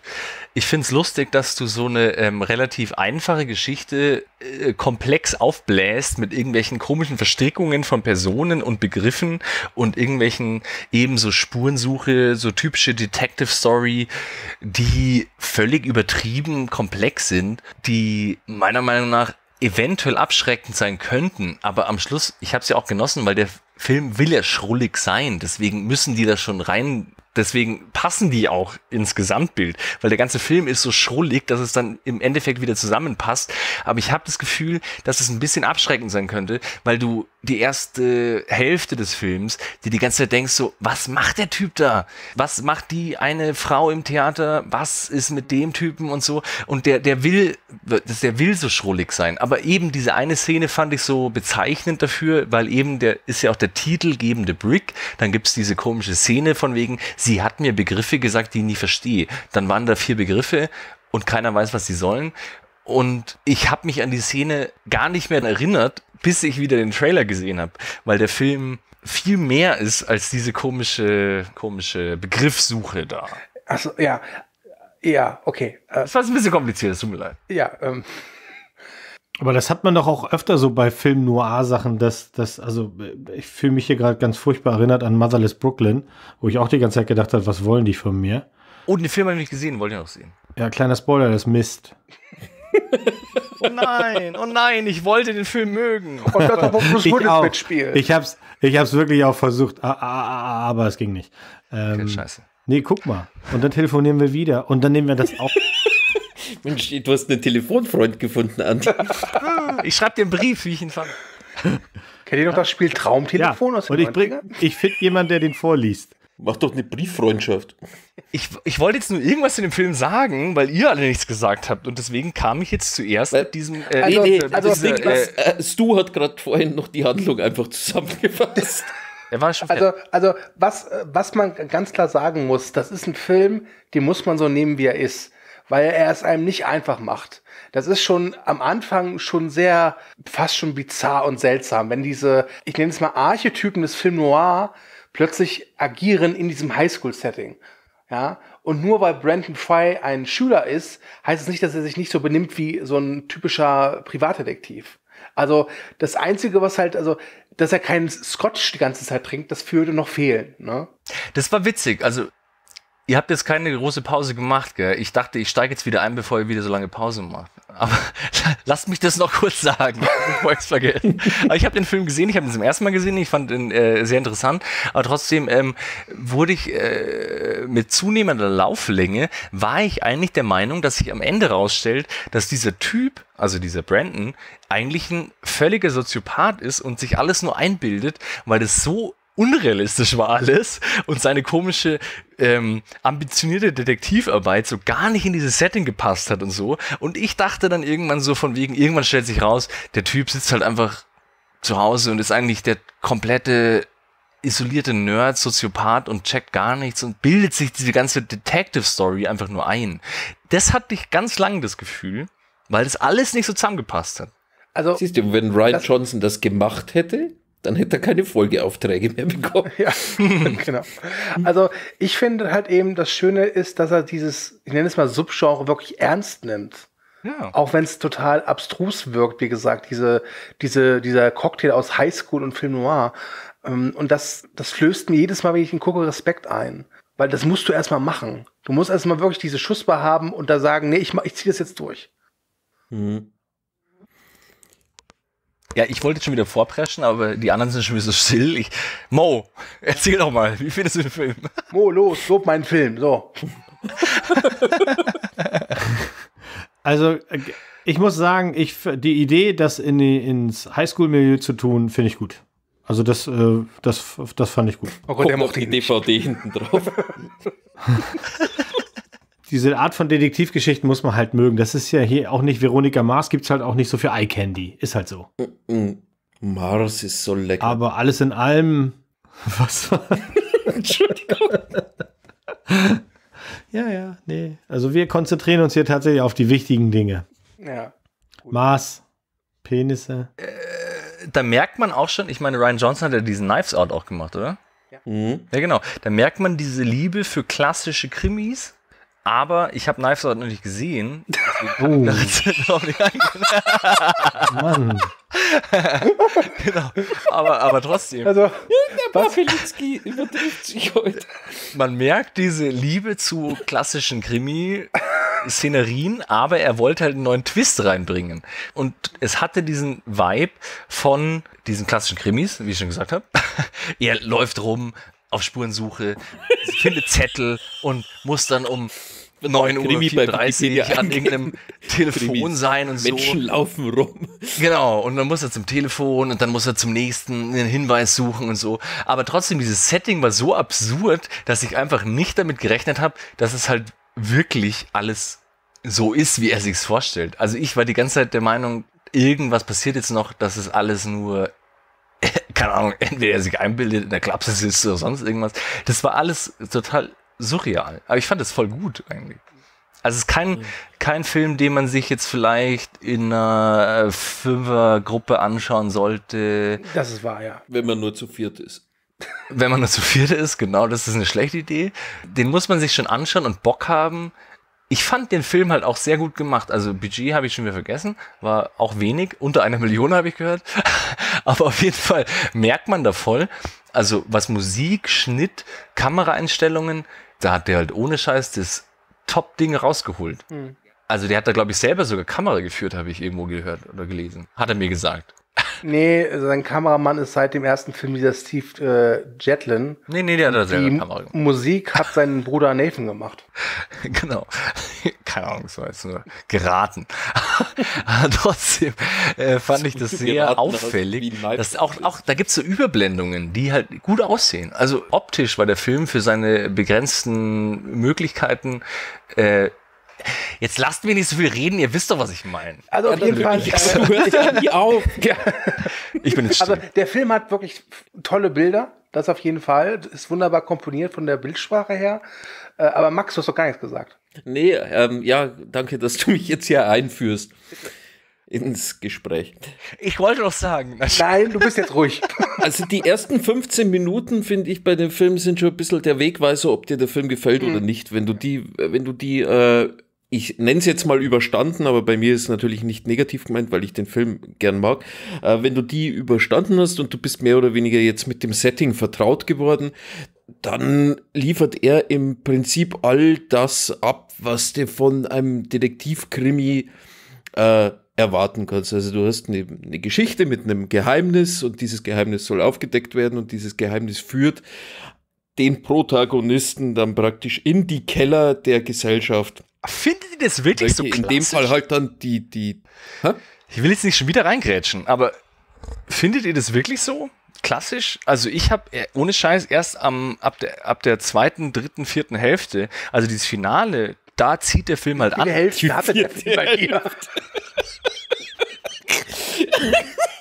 Du hast einen anderen Film gesehen.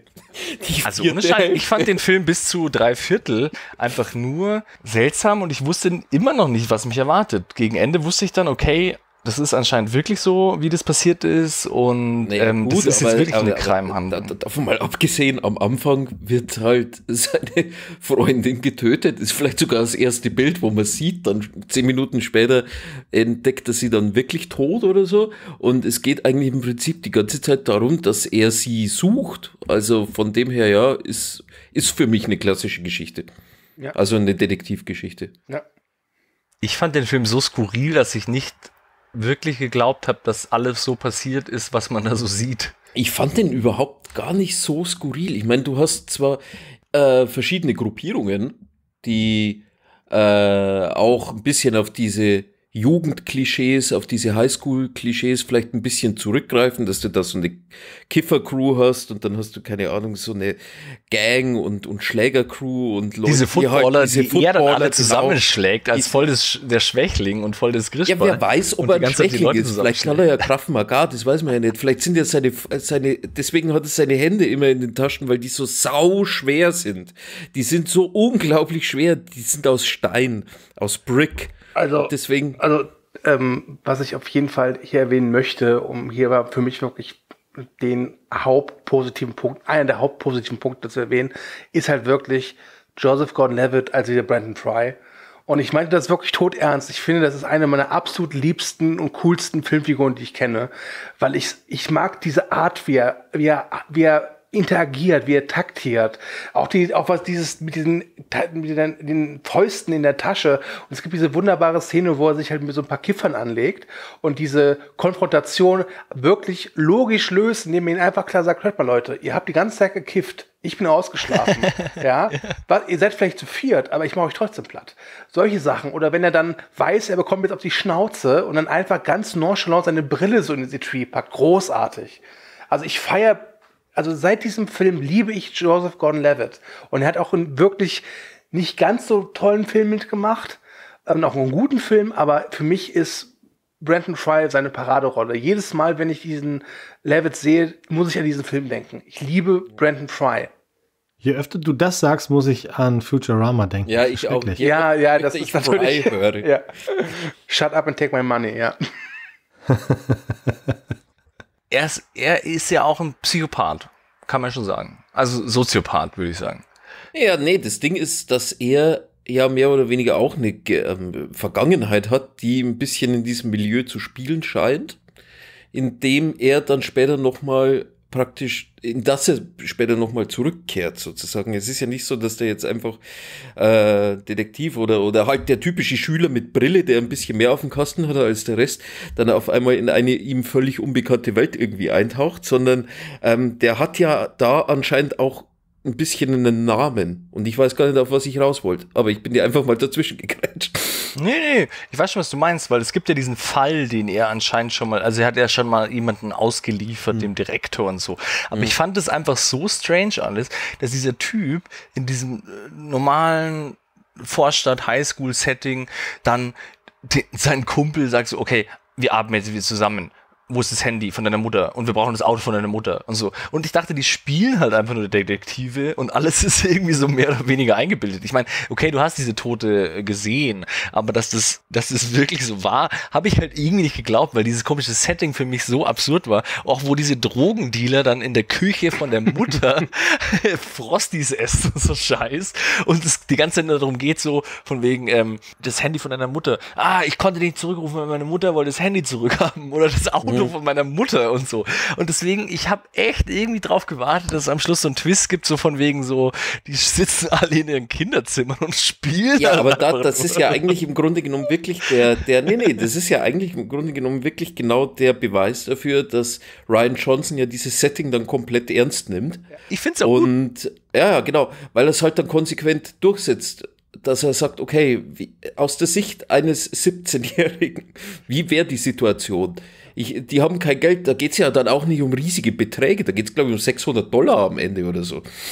Was ich halt auch toll finde, ist, dass er, er durch, diese, durch diese Mischung, die er da macht, von, von diesem Kriminalplot und dieser Highschool, ähm, finde ich, baut er so auch so eine ganz seltsame Zwischenwelt. Es gibt ja auch diese Szenen, wo Brandon dann ermittelt und in dieser Theatergruppe ist. Da siehst du diese Kara, die sich dann so, ich, ich nenne es mal Lustsklaven hält oder so. Mhm. Das, das, herrlich. Und das Schöne ist, dass er da auch dir einiges zeigt, aber auch viel im Dunkeln lässt. Das fand ich auch sehr spannend. Ich finde, dieser Film hat, nicht nur wegen seiner Kriminalhandlung, aber da wabert immer noch so der Hauch von, von Mystery mit, finde ich. Mhm. mhm. Genau, das Witzige war, ich habe irgendwie, glaube ich, auch nachdem ich den Film gesehen habe, nochmal äh, Movie Break geil, der Movie Break gelesen. Und dann habe ich so gelesen, ich habe den Film jetzt zu Ende dann schon geschaut und ich wusste, worauf es hinausläuft und dass der Film am Ende doch ernst ist. Und dann geht's ja wirklich darum, dass du diese Leute überführst, die wirklich Leute getötet haben und wirklich Drogengeschäfte gemacht haben und so. Aber ich hatte bei dem Film, ich fand ihn gut, ich fand ihn Hammer eigentlich. Wie gesagt, was Kameraarbeit und Suspense und so angeht, ich fand ihn teilweise ein bisschen zu strange, dass ich nicht genau wusste, was will der von mir gerade hier irgendwie. Ich finde es gerade zu absurd. Ich kann das nicht so richtig abkaufen und so. Aber ich habe bei dem Film nie, äh, ich habe das schon als Hommage verstanden an klassische Krimis, Film Noir, keine Ahnung, da läuft so ein Typ rum, der will was aufdecken, dritte Mann oder so, keine Ahnung, voll gut eigentlich.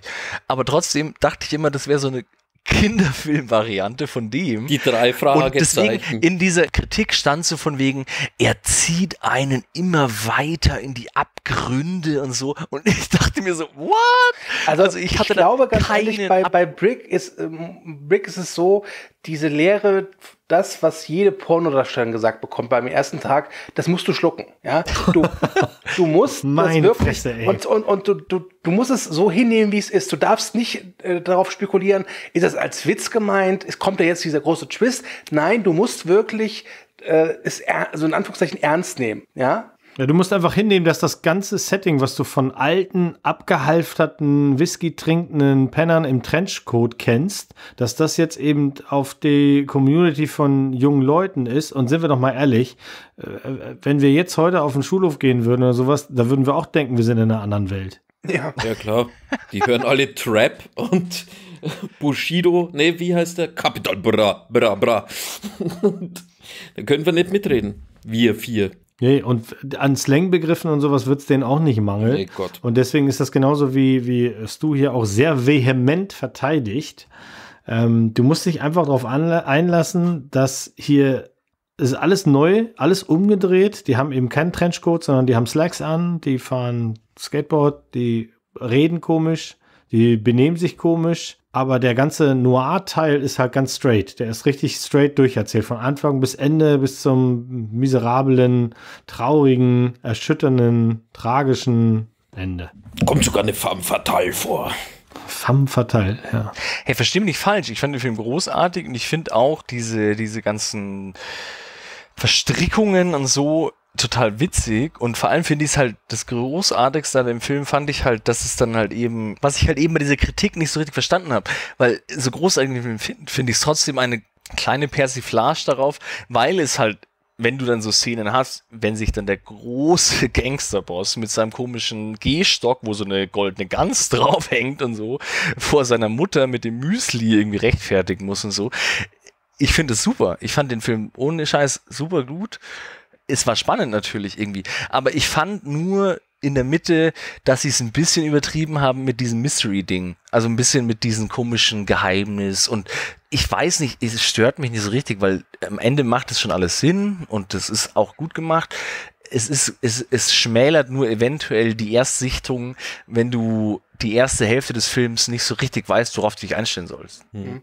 Vielleicht, also ohne das Böse zu meinen, aber vielleicht wirkte der Film für dich stellenweise so komisch. Ich meine, es, es gab auch Szenen, ich glaube, die waren gewollt auch komisch oder als Persiflage gemeint. Aber es ist ja oft so, dass man, das erlebt man vor allem oft in Horrorfilmen, äh, wenn ein Film irritiert, dass man ganz oft mit Lachen drauf reagiert. Und ich könnte mir schon vorstellen, dass Brick auch wirklich viele Leute irritiert. Verstehst du, was ich meine? Ja. ja, der Film ist doch, der Film ist aber, also du kannst nicht mir erzählen, dass der Film ernsthaft ist. Der ist ernsthaft. Also der hat Momente. Pass auf. Allein diese der Szene, hat, der hat diese Momente, der hat, nein, nein, nein, ruhig jetzt, Parkplatz. Der hat Momente, der hat Momente, der hat Momente, wirklich, da will er auch komisch sein. Und da ist er auch komisch. Ja, ja, eben, das meine ich. Ja, aber er ist nicht durchgängig als komischer Film konzipiert. Auf gar keinen Fall. Der ist ernst gemeint. Und das finde ich großartig. Der ist definitiv ernst gemeint, ja. ja ich würde ihn jetzt auch nicht als äh, Film Noir Spoof bezeichnen oder so, aber durch diese ganze Charakterzeichnung und so finde ich ihn doch eher witzig. Ja, ich meine, gut, sagen wir es mal so. Der Brain hat vielleicht äh, zwei Dioptrien äh, Brillenstärke zu viel und die ein oder andere, der ein oder andere coole Spruch ist vielleicht auch ein bisschen zu viel. Der Kiffer ist witzig. Der, der Schläger ist witzig. Diese Mutterszenen sind witzig. Wie der Typ die ganze Zeit zusammengekloppt wird und immer wieder aufsteht, das ist witzig. Nee, sorry, bin ich nicht bei dir. Was? Also tut mir leid, es, also mir kommt es so vor, und jetzt spiele ich mal den, den Psychologen, dass du einfach von dem Film irritiert warst, was ja nicht schlimm ist. Und ich finde es ja auch okay, wenn du sagst, okay, du findest den Film witzig, aber das ist eine Leseart, die mir wirklich, und ich habe den Film ja schon öfters geguckt, wirklich absolut fernliegt. Also komm. Was ich wiederum ganz spannend finde diese mhm. Schlägereiszenen auf dem Pausenhof oder so, die sind ja Slapstick. Nee, gar nicht. Natürlich. Nee. Nee. Allein schon das Sounddesign ist Slapstick. Nee, ist also ja, gut, das Sounddesign, das jetzt, ist halt, weil der Film eine halbe Million gibt. Ja. Also, also Herr Pawlitzki, jetzt wäre sie zu Slapstick. Also ganz ehrlich. Es ist ja nicht so, dass da irgendwie so boing ist. Ja. Naja, trotzdem. Brrr. Aber diese Steh-auf-Männchen-Szenen, die fand ich schon sehr witzig. Honka, honka. Okay. äh, ich, ich würde mal ganz, jetzt haben wir ja hier schon äh, ausgiebig diskutiert, vor allem der doofe Andi und ich. ähm, und bei Max habe ich jetzt auch schon so rausgehört, dass wir den Film fand, aber unser Ehrengast. Ja. ja. Der ist äh, immer noch ganz perplex von dem, wie viel, wie viel Rage ihr in euch habt. Es tut mir leid, weil Brick ist halt wirklich einer meiner Lieblingsfilme. Ich, ich verstehe das. Ich habe nie gesagt, dass ich ihn schlecht finde. Ich sehe nur anders als du, lieber Sue. Ja, du siehst ihn falsch. Es hat geklappt, dass die Mo reden. So. Oh Gott. Ich kann tatsächlich, hier, pass mal auf, jetzt, jetzt kommt mal hier der ehemalige Zivildienst-Mitarbeiter. Äh, oh nein, der macht Diplomatie. Ach, scheiße. Kommen wir zum Fazit. Äh, so, Fa Fazit. Äh, 6 von 24. Nee, ich kann das schon verstehen, beide Seiten. So ich, ich, ich, jetzt ist hier mal Ruhe. Ich bin der Älteste, jetzt haltet ihr mal einen Sappel. Okay, wer kam auf die doofe Idee, Mo einzuladen? Ich glaube, das warst du, Sue. Scheiße. Deine Mutter. Okay. Nee, bitte, Mo, mach. Sorry. Also, ich finde, was er macht, macht er gut. Er nimmt dieses Thema und das habe ich nicht erwartet, dass er das auf dieses Niveau bringt, springt, sprich Schule. Sind die Charaktere zum Großteil überzeichnet? Ja, weil das so sein soll. Danke. Also ich bin wieder, ich nehme den letzten Film, den ich äh, äh, wirklich am ehesten damit vergleichen kann, ist so Motherless Brooklyn, weil das ist genau das Gegenteil von dem hier. Das ist auch ein äh, Film noir und der nimmt sich 100% 1000 Milliarden Mal ernster und ist eine absolute Klogurke. Hier bei Brick habe ich das überhaupt nicht, weil mich die ganze Zeit irgendwas überrascht. Ich finde auch, und ich glaube das auch, dass wenn ich ein Pimp wäre mit 17, wenn ich hier die Drogen der Drogenbaron wäre in meiner äh, äh, Nachbarschaft, wo ich, weißt du, am Wochenende verteile ich Zeitung und äh, nachts gebe ich den allen Koks, so nach dem Motto, dann kann ich, glaube ich, auch, dass die alle so ein bisschen einen weg haben, dass die alle auch so ein bisschen schräg dann eben drauf sind. Aber ich nach wie vor, ich denke, das ist dieses alte Film Noir mit durchgeknallten Typen, mit abgehalfterten Typen einfach draufgepresst auf die jungen Leute, um dich ständig daran zu erinnern, dass das keine Rolle spielt, wer das hier macht, sondern es geht um, um diese, diese, diese Cook-Art, äh, Neo-Noir-Film. Mhm. Und ich mag das, ich mochte das. Ist das schon das Fazit? Dann kannst du gleich eine Punktewertung hinten dran klatschen und dann machen wir das alle. Ja. drei, von, drei von fünf Dubis. Okay, ähm, ich gebe fünf von fünf Dubis. Ich möchte mich in aller Form bei Andy entschuldigen, wenn ich ihm so hart angegangen bin. Aber er hat, das Scheiße erzählt. So, also 5 von 5. Also ich gebe den Film ja auch äh, 3,5 bis 4, weil ich mochte ihn sehr gerne, aber trotzdem äh, bin ich nicht der Meinung, dass der Film sich komplett ernst nimmt. Natürlich sind es ernste Themen, wo ich halt, wie gesagt, durchgängig nicht wusste, wie ernst es gemeint ist, weil ich durch dieses schräge Setting und diese schrägen äh, Charaktere immer nicht wusste, wie real das alles ist wo sich dann rausgestellt hat, dass das alles real ist, dachte ich mir auch so, ah, okay, dann ist es wohl real. Trotzdem finde ich es lustig, dass die Mutti oben noch äh, Müsli macht und deswegen musste ich lachen. Mhm. Aber ich fand den Film großartig und ich gebe ihm 3,7 von 5 Bricks. Also 4, gut. ja, 4 gebe ich auch, weil er ein geiles Drehbuch hat. Honka, Honka. Honka. Was ich auch noch gut fand, die Dialoge sind so messerscharf, aber halt auch so unrealistisch, weil eben dieser, dieser komische Brandon, ich dachte zuerst, es wäre so ein Stalker-Psychopath. Ja, schau mal, Dawson's Creek der sein, kenne ich nicht, aber ähm, der seine, der seine verflossene Flamme eventuell nicht, nicht äh, loswerden will oder so und deswegen äh, steigert er sich in eine Sache rein, die gar nicht real passiert ist. Also äh, der spinnt halt völlig und ist ein krasser Autist und so, aber ich fand es dann mega witzig, wie er später die Leute rumkommandiert und so und deswegen, ich habe immer noch ein bisschen gehofft, dass es nicht real ist, weil er sich zu kompetent verhält für seine Position. Aber ich fand's lustig. Also er ist ein guter Charakter, ein lustiger Charakter wie er dann alles plant und wie er immer drüber steht. Und dann schlägt er noch den äh, Football-Champion zusammen. Er steckt viel ein. ich fand es halt einfach so übertrieben und witzig, wie der dargestellt wird. Also wird tausendmal niedergeschlagen, aber es stört ihn nicht und so. Und das, ich fand das alles so übertrieben und deswegen konnte ich den Film, entschuldigungst du, nicht ernst nehmen, ist nicht die richtige Formulierung, aber es war einfach so übertrieben komisch alles, ich dass ich den Film jetzt nicht hundertprozentig ernst nehmen konnte, aber im Gesamtbild fand ich ihn großartig. Super Film, danke. Kommen, Super. Wir zu, kommen wir zum nächsten gute Laune-Kracher. Menschen im Wald und Leute, die sich gegen eine Wand stellen. Mm, äh, ich muss jetzt mal ganz du hier kurz das Ende? Nein, wir sind ein Spoiler-Format. Da muss man das so machen. nee, ähm, ich würde jetzt gern eine Sache, damit ich äh, eh immer so einen kleinen Faden, die, äh, das, das, das Blair Witch Project.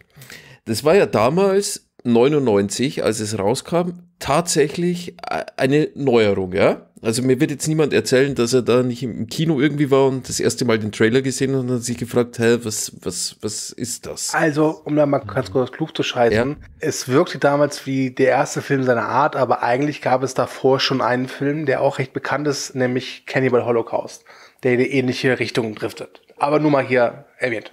Ja, nee. Aber ich wollte nur ganz kurz, damit ich dann Mo das Wort geben kann. Ähm, ich kann mich nur daran erinnern, 18 Jahre alt und dann bin ich so in dem Kino und, und äh, sehe den Trailer, bin sehr überrascht und äh, schaue mir dann zwei oder drei Wochen später den Film an und tatsächlich ist, äh, ist das der einzige Found-Footage-Film, den ich wirklich sehr gern mag. Und ich weiß nicht, wieso ich diese Einleitung gewählt habe. Aber Das Mo, schön erzähl doch was. Mo, jetzt knall er mal richtig einen raus. Ja. Ja. Hau mal drauf. Blair Witch Also Project. es würde mich jetzt äh, tatsächlich auch echt freuen, wenn irgendeine arme, verirrte Seele diesen Podcast sich angehört hat. Bis jetzt, warte mal, wir sind, wo sind wir hier? Bei? Knapp zwei, Zwei Stunden. Stunden. Wir sind eine Stunde 59, genau. Jetzt quasi das erste Mal vom Blair Witch hört und hinterher dann losgeht und sich den anguckt. Das wäre das wäre quasi mein Traumziel. Also wenn das passiert, dann hinterlasst einen Kommentar. Wenn nicht, dann nicht. Aber welcher Idiot wäre das? Ich meine, wer hat bitte Du, noch nichts äh, von Blair Witch gehört? Ich glaube, dass, äh, also die Art Horrorfilme, die jetzt ja, mit denen du ja jetzt zugeschissen wirst, jedes Jahr, sind wieder komplett anders als das hier war. Ähm, Also es gab eine so, Zeit lang. natürlich gibt es Leute, die ihn noch nicht gesehen haben, aber ich glaube, jeder, der so ein bisschen horroraffin ist, hat schon mit dem Titel gehört. Selbst meine Mutter hat diesen Titel schon mal gehört. Dürfen wir jetzt kurz mal drauf eingehen? Also, ich meine, ähm, der Mo ist ja unser Special Guest und du hast du, glaube ich, den Mo eingeladen. Und dann hast du ihm das Thema gesagt und es war dann deine erste Wahl? Oder wie, wie war das? Also, wie war jetzt deine Verbindung zu dem Film? Hast du gedacht, der ist einfach nur billig oder hast du gedacht, das ist einer meiner Lieblingsfilme? Beides. Ja, also ich bin tatsächlich darauf gekommen, weil, weil alles. Nee, weil ähm, dieses eine Million Ding, das wusste ich halt sofort aus dem Bauch, der, das hat der niemals gekostet. Ich wusste nicht, wie viel es war am Ende und sowas. Gibt es auch unterschiedliche Zahlen, aber er ist unter einer Million. Aber ich weiß halt, was der für einen Impact hat und ich, äh, da- das, das hat mich so gereizt. Das finde ich gut. Also meine zweite Wahl wäre halt wirklich äh, tatsächlich äh, Paranormal Activity gewesen, der noch mal deutlich billiger war und auch einen immensen Impact hatte und äh, mich sogar zum Teil noch mehr gegruselt hat. Aber kann man das als Abklatsch von Blair Witch äh, bezeichnen? Nee, nee, nee, finde ich, finde ich nicht. Nee, nee, nee, gar nicht. Also bei, bei, ähm, Meinst du, es hätte Paranormal Activity gegeben, wenn es nicht Blair Witch Project gegeben nee, nee, das ist genau das, worauf ich hinaus will. Ich, glaub, glaube, es hätte eine ganze Handvoll Filme nicht gegeben ohne diesen Erfolg. Das Ding hat, äh, ja, wie gesagt, es gibt unterschiedliche Zahlen, irgendwas zwischen 35.000 und 60.000 Dollar und in der Postproduktion nachher bis zu 750.000. Solche Zahlen werden da, also alles unter eine Million und hat 250 Millionen eingespielt als sogenannter Sleeper-Hit. Das heißt, er hat sich über Jahre aufgebaut und jetzt gibt es ja quasi ein Universum, weitere Filme, es gibt Comics, es gibt Romane, es gibt ein Videogame und das Ding wird immer noch zitiert, weil auch die Machart äh, von diesem Daniel Myrick und dem äh, Eduardo Sanchez, Äh, auch so richtig äh, ein bisschen link war und für mich das Promo-Paket, was sie da abgefeuert haben, ist einfach genial. Man muss sich vorstellen, 1999, die haben wenig Geld auf der Naht. Dann kommen die mit diesem Projekt um die Ecke, in dem es darum geht, dass drei Studenten in den Wald fahren, um einer alten Legende, einer alten Hexenlegende auf die äh, Schliche zu kommen. Und das jetzt mal so als Story, das muss jetzt mal ganz kurz lang, weil der eigentliche Gag ist ja, dass sie die ganze Zeit von Anfang an so tun, als wäre das tatsächlich passiert. Auch eine Webseite später bauen, die mit Fake-Interviews, mit Fake-Fotos darauf hindeutet, dass es wirklich passiert. Wir haben hier was. Und das ging ja so weit, dass bei der äh, Premiere in dem Promopaket, wer spielt hier mit, stand hinter den Darstellernamen in Klammern vermisst oder tot. Es war ein krasser Marketing-Gag auf jeden Fall. Ja, und, und das, ähm, jetzt hast du den geguckt, danach hast du dich dann schlau gelesen, hast das alles erfahren, dann fandst du es nochmal geiler. Ich fand aber auch tatsächlich diese Machart, ich habe sowas noch nicht gesehen. Ich kenne jetzt auch tatsächlich äh, Nackt und Zerfleisch nicht. Also Cannibal Holocaust kenne ich nicht. Kann ich also auch wirklich nicht vergleichen, wie viel haben die Ähnlichkeit, ähm, hat der eine was. Ich glaube schon, dass wenn du generell über Horror redest, dann werden die beiden Typen, die das hier gemacht haben, die werden den kennen und sicherlich auch ein bisschen eine Anleihe sich da genommen haben. Kann sein. Weiß ich nicht. Ja, wahrscheinlich. Aber ich habe, ich finde, das Ganze ist so clever und halt eben auch tatsächlich, ich habe Schiss vor, ich, ich nenne das immer so, ähm, geerdeten Grusel, weißt du? Also wenn ich das, wenn ich, wenn ich, wenn du im Wald stehst und du hörst irgendwas und du kannst nichts sehen, da hast du einen Klops in der Hose. Wenn ich im Wald stehe und da kommt einer mit einer Kettensäge auf mich zu, weiß ich nicht so genau, wie ich mich da fühlen würde, würde ich wahrscheinlich wissen, dass ich laufen muss. Ah, der Herr Förster. Aber deswegen zum Beispiel diese Szene in dem Film, wo die dann abends in ihrem äh, Zelt liegen und hören Babyschreie im Wald, wo keine Babys sein können, das finde ich so creepy. Das ist so, ja, Ich habe den Film jetzt gestern seit äh, 15 Jahren mal wieder gesehen und du denkst die ganze Zeit, wo sie dann diese Kamera, diese Nachtsichtkamera, du siehst immer nur so ein paar Blätter, ein bisschen Boden und so. Da wartest du schon fast die ganze Zeit, dass dann irgendwann mal so eine hässliche Fratze auftaucht oder irgendein Scheißdreck, irgendein so ein Schockeffekt oder so. Aber dadurch, dass das nicht passiert, wie du schon gesagt hast, ist es so viel gruseliger und das habe ich auch bei der äh, Zweitsichtung jetzt seit, wie gesagt, 15 Jahren oder so mal wieder ziemlich gefeiert, ehrlich gesagt. Weil es wirkt dann halt realer und ein bisschen gruseliger, weil ähm, ich bin dann mal zwischendurch aufs Klo gegangen und habe dann in meinem Bad auch gedacht, da steht einer in der Ecke oder so. In der Badewanne steht da so ein Typ oder keine Ahnung. Und es ist viel gruseliger, als wenn ich mir denke, so, da kommt jetzt irgendwie so ein komisches äh, Kind mit Bart oder oder oder, oder, oder wie, wie, Oh ja, das ist das Beste. Aus dem Fernseher kommt dann da irgendwie so ein Zombie aus dem Fernseher oder so. Aber Hier, dieses, was du Child. nicht siehst, sind ja kleine dieses Horrorgenre lebt ja davon, von dem, was du nicht siehst, was du im Kopf hast, eben, was du dir vorstellst, was da gleich passiert, was da rauskommt, ist ja immer viel gruseliger, als was du dann wirklich siehst. Deswegen, das macht der Film super genial und der Film, deswegen funktioniert der heute immer noch, weil er halt eben damals schon nicht auf diese blöden Schockeffekte, ein aufgerissenes Auge mit Mund und Blutfontäne und sonst was in der Nacht, sondern Du siehst nichts. Die ganze Zeit.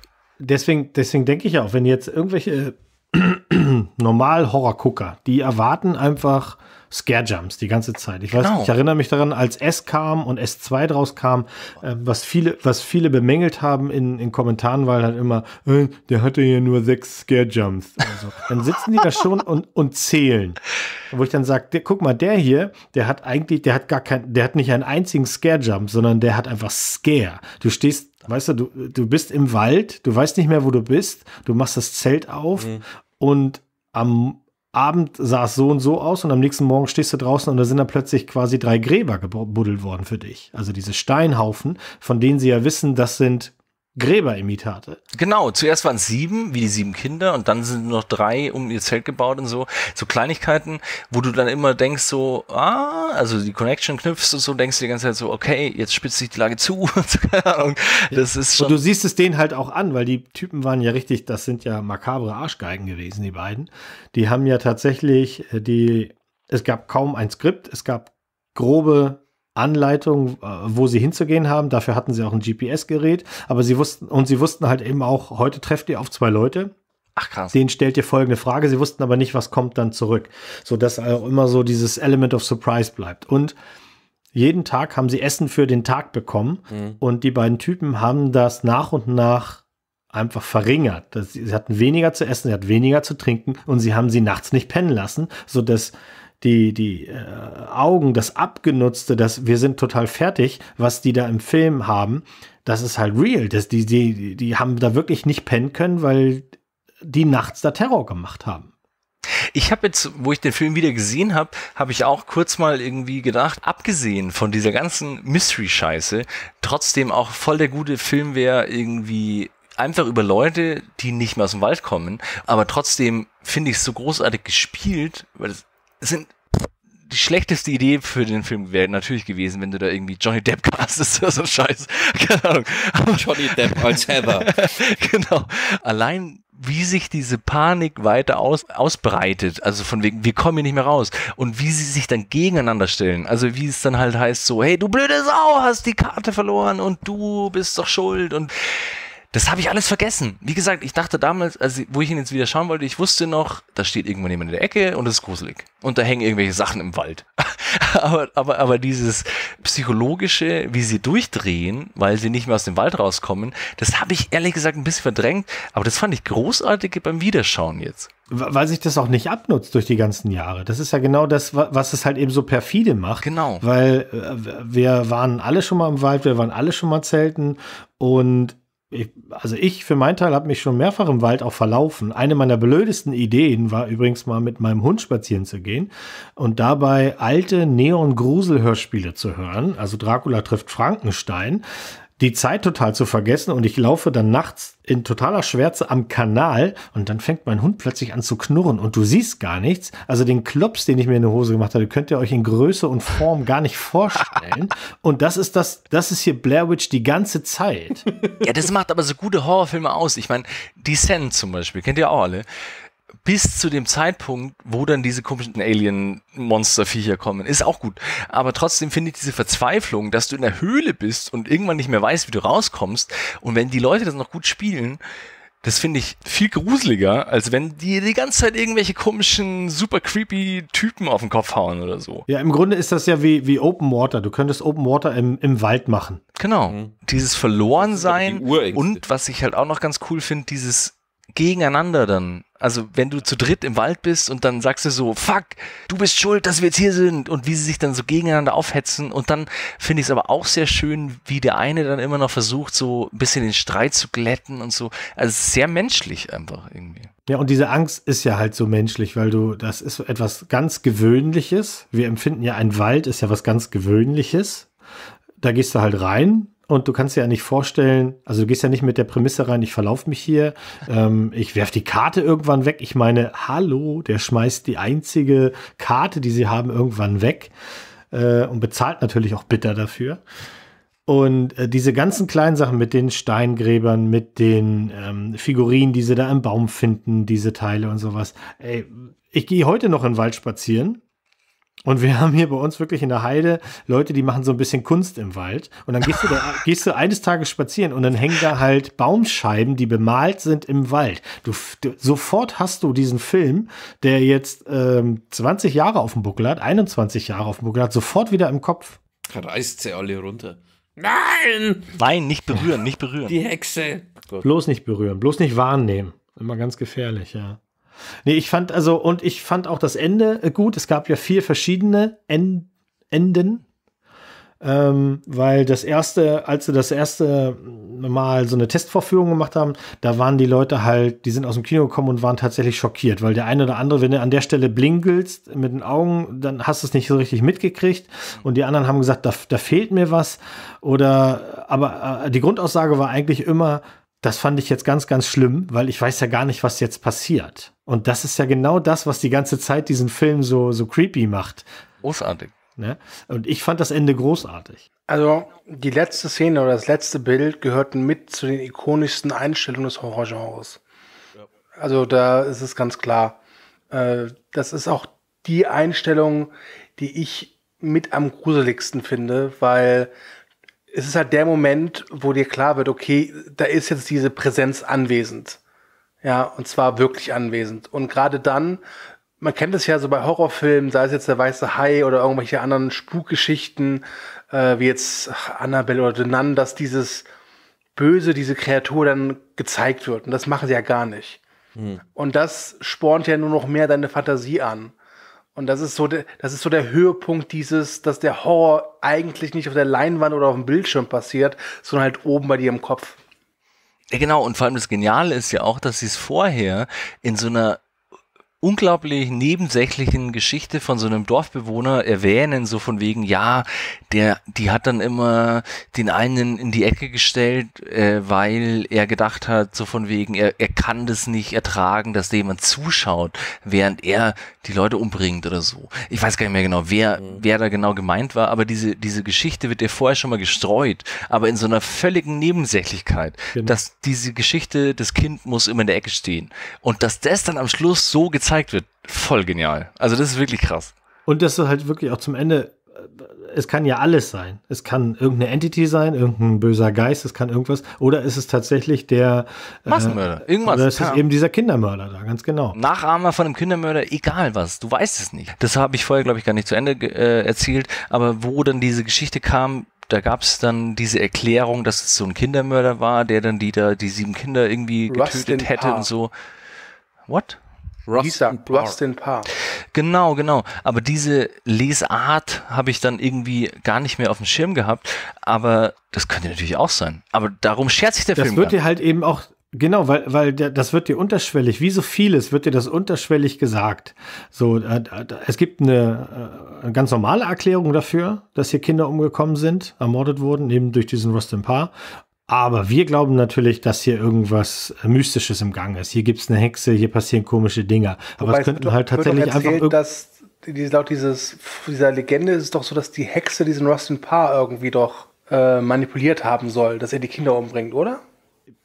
ja, ich krieg's jetzt gerade nicht zusammen. Also ich, ich dachte immer, es gibt diese beiden Varianten, dass der. Äh, ich meine nämlich, ja. Ähm, also ich habe ich hab mir jetzt vor vier oder fünf Tagen geguckt und ich meine mich zu erinnern, dass gesagt wird, dass diese Hexe diesen Rustin Paar wohl heimgesucht haben soll, ihn manipuliert haben soll oder in ihn gefahren ist, dass er diese Kinder umbringt. Aber ich kann mich jetzt auch irren. Also ja, aber wie wir ja gesagt haben, am Ende wissen wir sowieso nicht, wer es war, weil wir sehen ja keinen. Was wir sehen, äh, beziehungsweise nicht sehen, ist ja, er steht in der Ecke, es gibt einen auf dem Kopf, die Kamera fällt runter und du weißt genau, was das heißt. Hm. Weil du hast ja aufgepasst bis dahin und das finde ich ist äh, so creepy.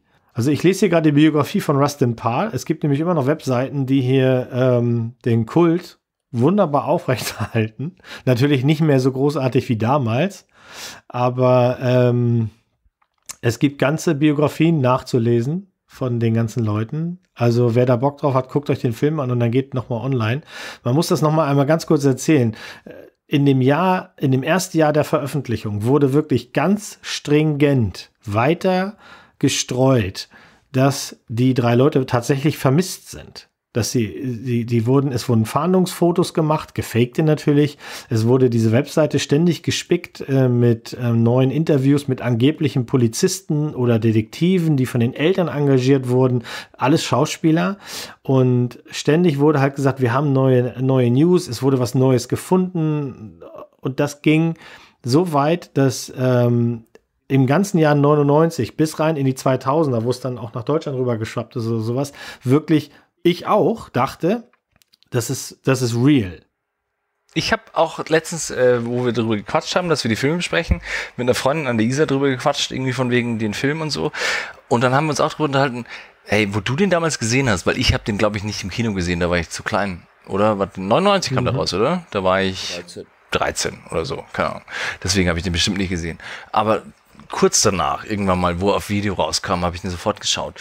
Aber ich wusste das dann schon, dass das halt hm. nicht echt war, so ungefähr. Also bei mir war es so, der kam im November in die Kinos und hatte seine Premiere im Januar in den USA und lief dann im Sommer in den USA. Und als der im Winter dann 99 in, in die deutschen Kinos kam, ich war halt damals schon so ein kleiner, ich nenne es mal Filmnerd. Ich habe Zeitschriften gelesen, ich habe damals, soweit es ging, im Internet so ein bisschen geguckt und da war mir auch schon klar, okay, das ist, das ist halt ein Fake. Und, aber genau das hat den Film für mich also richtig interessant gemacht, weil ich es unglaublich spannend fand zu gucken, wie diese Mechanik dahinter funktioniert hat. Und wenn man sich den Film anguckt, äh, wie, wie gut sie das machen, weil am Anfang passiert ja nichts wirklich Gruseliges. Man sieht zum Beispiel, mhm. wie sie einkaufen geht, dann reden sie über Kartoffelpüree, dann interviewen sie diese Leute. Ähm, und das sorgt ja dafür, dass, dass diese, drei Studenten ja nicht wirken wie Filmfiguren, sondern halt wie wirkliche genau, Menschen, genau. was ja den, den Grusel noch erhöht. Haben diese Schauspieler eigentlich nochmal jemals... Ja, die haben ja noch ein paar Sachen gemacht, aber meist solchen B-Movies und auch die beiden Regisseure haben danach nichts mehr Großartiges äh, gemacht, äh, waren natürlich als Produzenten oder was ich, Executive Producers irgendwie bei Blair Witch 2 und diesem Blair Witch hieß er nur. Oh Gott, den zweiten habe ich glaube ich noch gesehen. Ja, aber kacke. das ist glaube ich, das ist glaube ich, das ist ohne Scheiß. Das ist, das kannst du glaube ich, wenn du einen Horrorfilm machst, dann kannst du genau Blair Witch 1, Blair Witch 2 anschauen und dann weißt du genau, was du machst, dass es funktioniert und man muss dazu auch sagen, dass der Regisseur von Teil 2, dieser Joe Burlinger, äh, auch äh, letztlich nicht den Final Cut hatte. Der ist auch selbst sehr unzufrieden. Das war wohl so eine Studieentscheidung, dass sie halt gesagt haben, komm, und jetzt mal ein bisschen die Blutsoße noch reinbringen, ne, damit es auch noch was schmeckt. Ja, also der zweite Teil ist, ist mhm. furchtbar, den auf gar keinen Fall. Fand die, alles, was danach gekommen ist, fand ich auch wirklich grottig. Ja. Und das ist ja. auch schade, weil du gibst ihnen dann quasi das Zehnfache vom Budget irgendeinem fremden Typen, der auch diese Liebe nicht hatte zu diesem Projekt. Und da, da kann nichts bei rauskommen. Ja. Und ich glaube, dass da bist du dann auch, also es ist natürlich schade, dass sie danach gar nichts mehr auf die Reihe gekriegt haben, außer so ein paar B-Movies. Ähm, es ist aber auch bei dem Film schwierig, weil das klingt jetzt ein bisschen böse, aber es war halt so ein, äh, der Stu hat das, glaube ich, mal schön, ein One-Trick-Pony, so ungefähr. Mhm. Ja. Ähm, und da war das halt der über One-Trick-Pony, so ungefähr. Und deswegen danach denkst du halt auch so, ja, okay. Ich wusste, wie gesagt, damals schon, dass es nicht echt ist und so. Und ich fand den ohne Scheiß damals, glaube ich, auch nicht so ich meine, mit, mit, mit 14 willst du halt einfach nur Gewalt und Titten. fucking gruseliges Splatter, genau. Da willst du Braindead sehen. und ich glaube, ich, ich konnte den jetzt viel mehr zu schätzen wissen als damals. Also bei mir ist es, Wie bei mir ist genial der ich habe ihn damals nicht im Kino geguckt, da habe ich ihn verpasst. Ähm, aber auf, war es, war es, ich glaube, es war sogar DVD schon. Und ich finde ihn als Horrorfilm gut. Ich bin jetzt nicht ganz so, also es ist nicht mein Lieblingshorrorfilm. Ich, der hat seine Qualitäten. Es ist für mich aber kein Horrorfilm, der durch mehrmaliges Sehen wächst. Ähm, beim ersten Mal habe ich ihn wirklich geschaut auf dieser Ebene, okay, ich möchte jetzt wissen, was hinter dem Hype steckt und äh, auch so ein bisschen analysieren, nenne ich es mal, oder Sezien, wie haben sie das gemacht? Dass es ja wirklich Leute gab, die es geglaubt haben, weil es ja die eine Sache zu behaupten, okay, das ist eine wahre Geschichte, und es ist die andere Sache, so einen Film abzuliefern, dass wirklich Leute glauben, ja, okay, das kaufen wir die ab. Wir sind wirklich der festen Überzeugung, das sind reale Filmaufnahmen. Und da gehört halt mehr dazu, als mit einer Wackelkammer durch den Wald zu laufen. Ne, Da gehört auch eben dazu, wie ich schon sagte, dass diese Figuren auch authentisch wirken, echt wirken. Und das machen sie voll gut. Ja, und, und ich finde auch, deswegen, abgesehen davon, dass du jetzt nicht mehr weißt, ob das real oder nicht ist, finde ich trotzdem, dass es trotzdem ein äh, Musterbeispiel dafür ist, ähm, wie man gute Horrorfilme macht. Vor allem in der heutigen Zeit, wie der Mo ja auch schon vorher gesagt hat, äh, so ein Musterbeispiel von wegen, was du nicht zeigen solltest, was viel gruseliger ist, als was du alles zeigen solltest. Deswegen, ich, ich weiß den Film jetzt viel mehr zu schätzen als damals.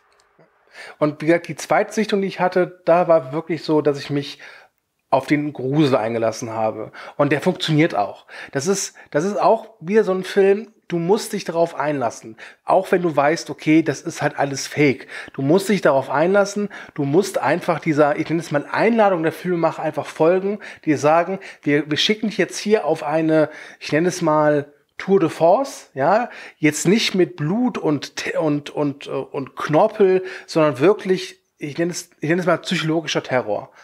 Und dann wirst du da wirklich sehr gut bedient. Und wie gesagt, die letzte Szene, und das meine ich ernst, ist eine der ikonischsten und großartigsten letzten Szenen oder Bilder, die es jemals in einem Horrorfilm gegeben hat.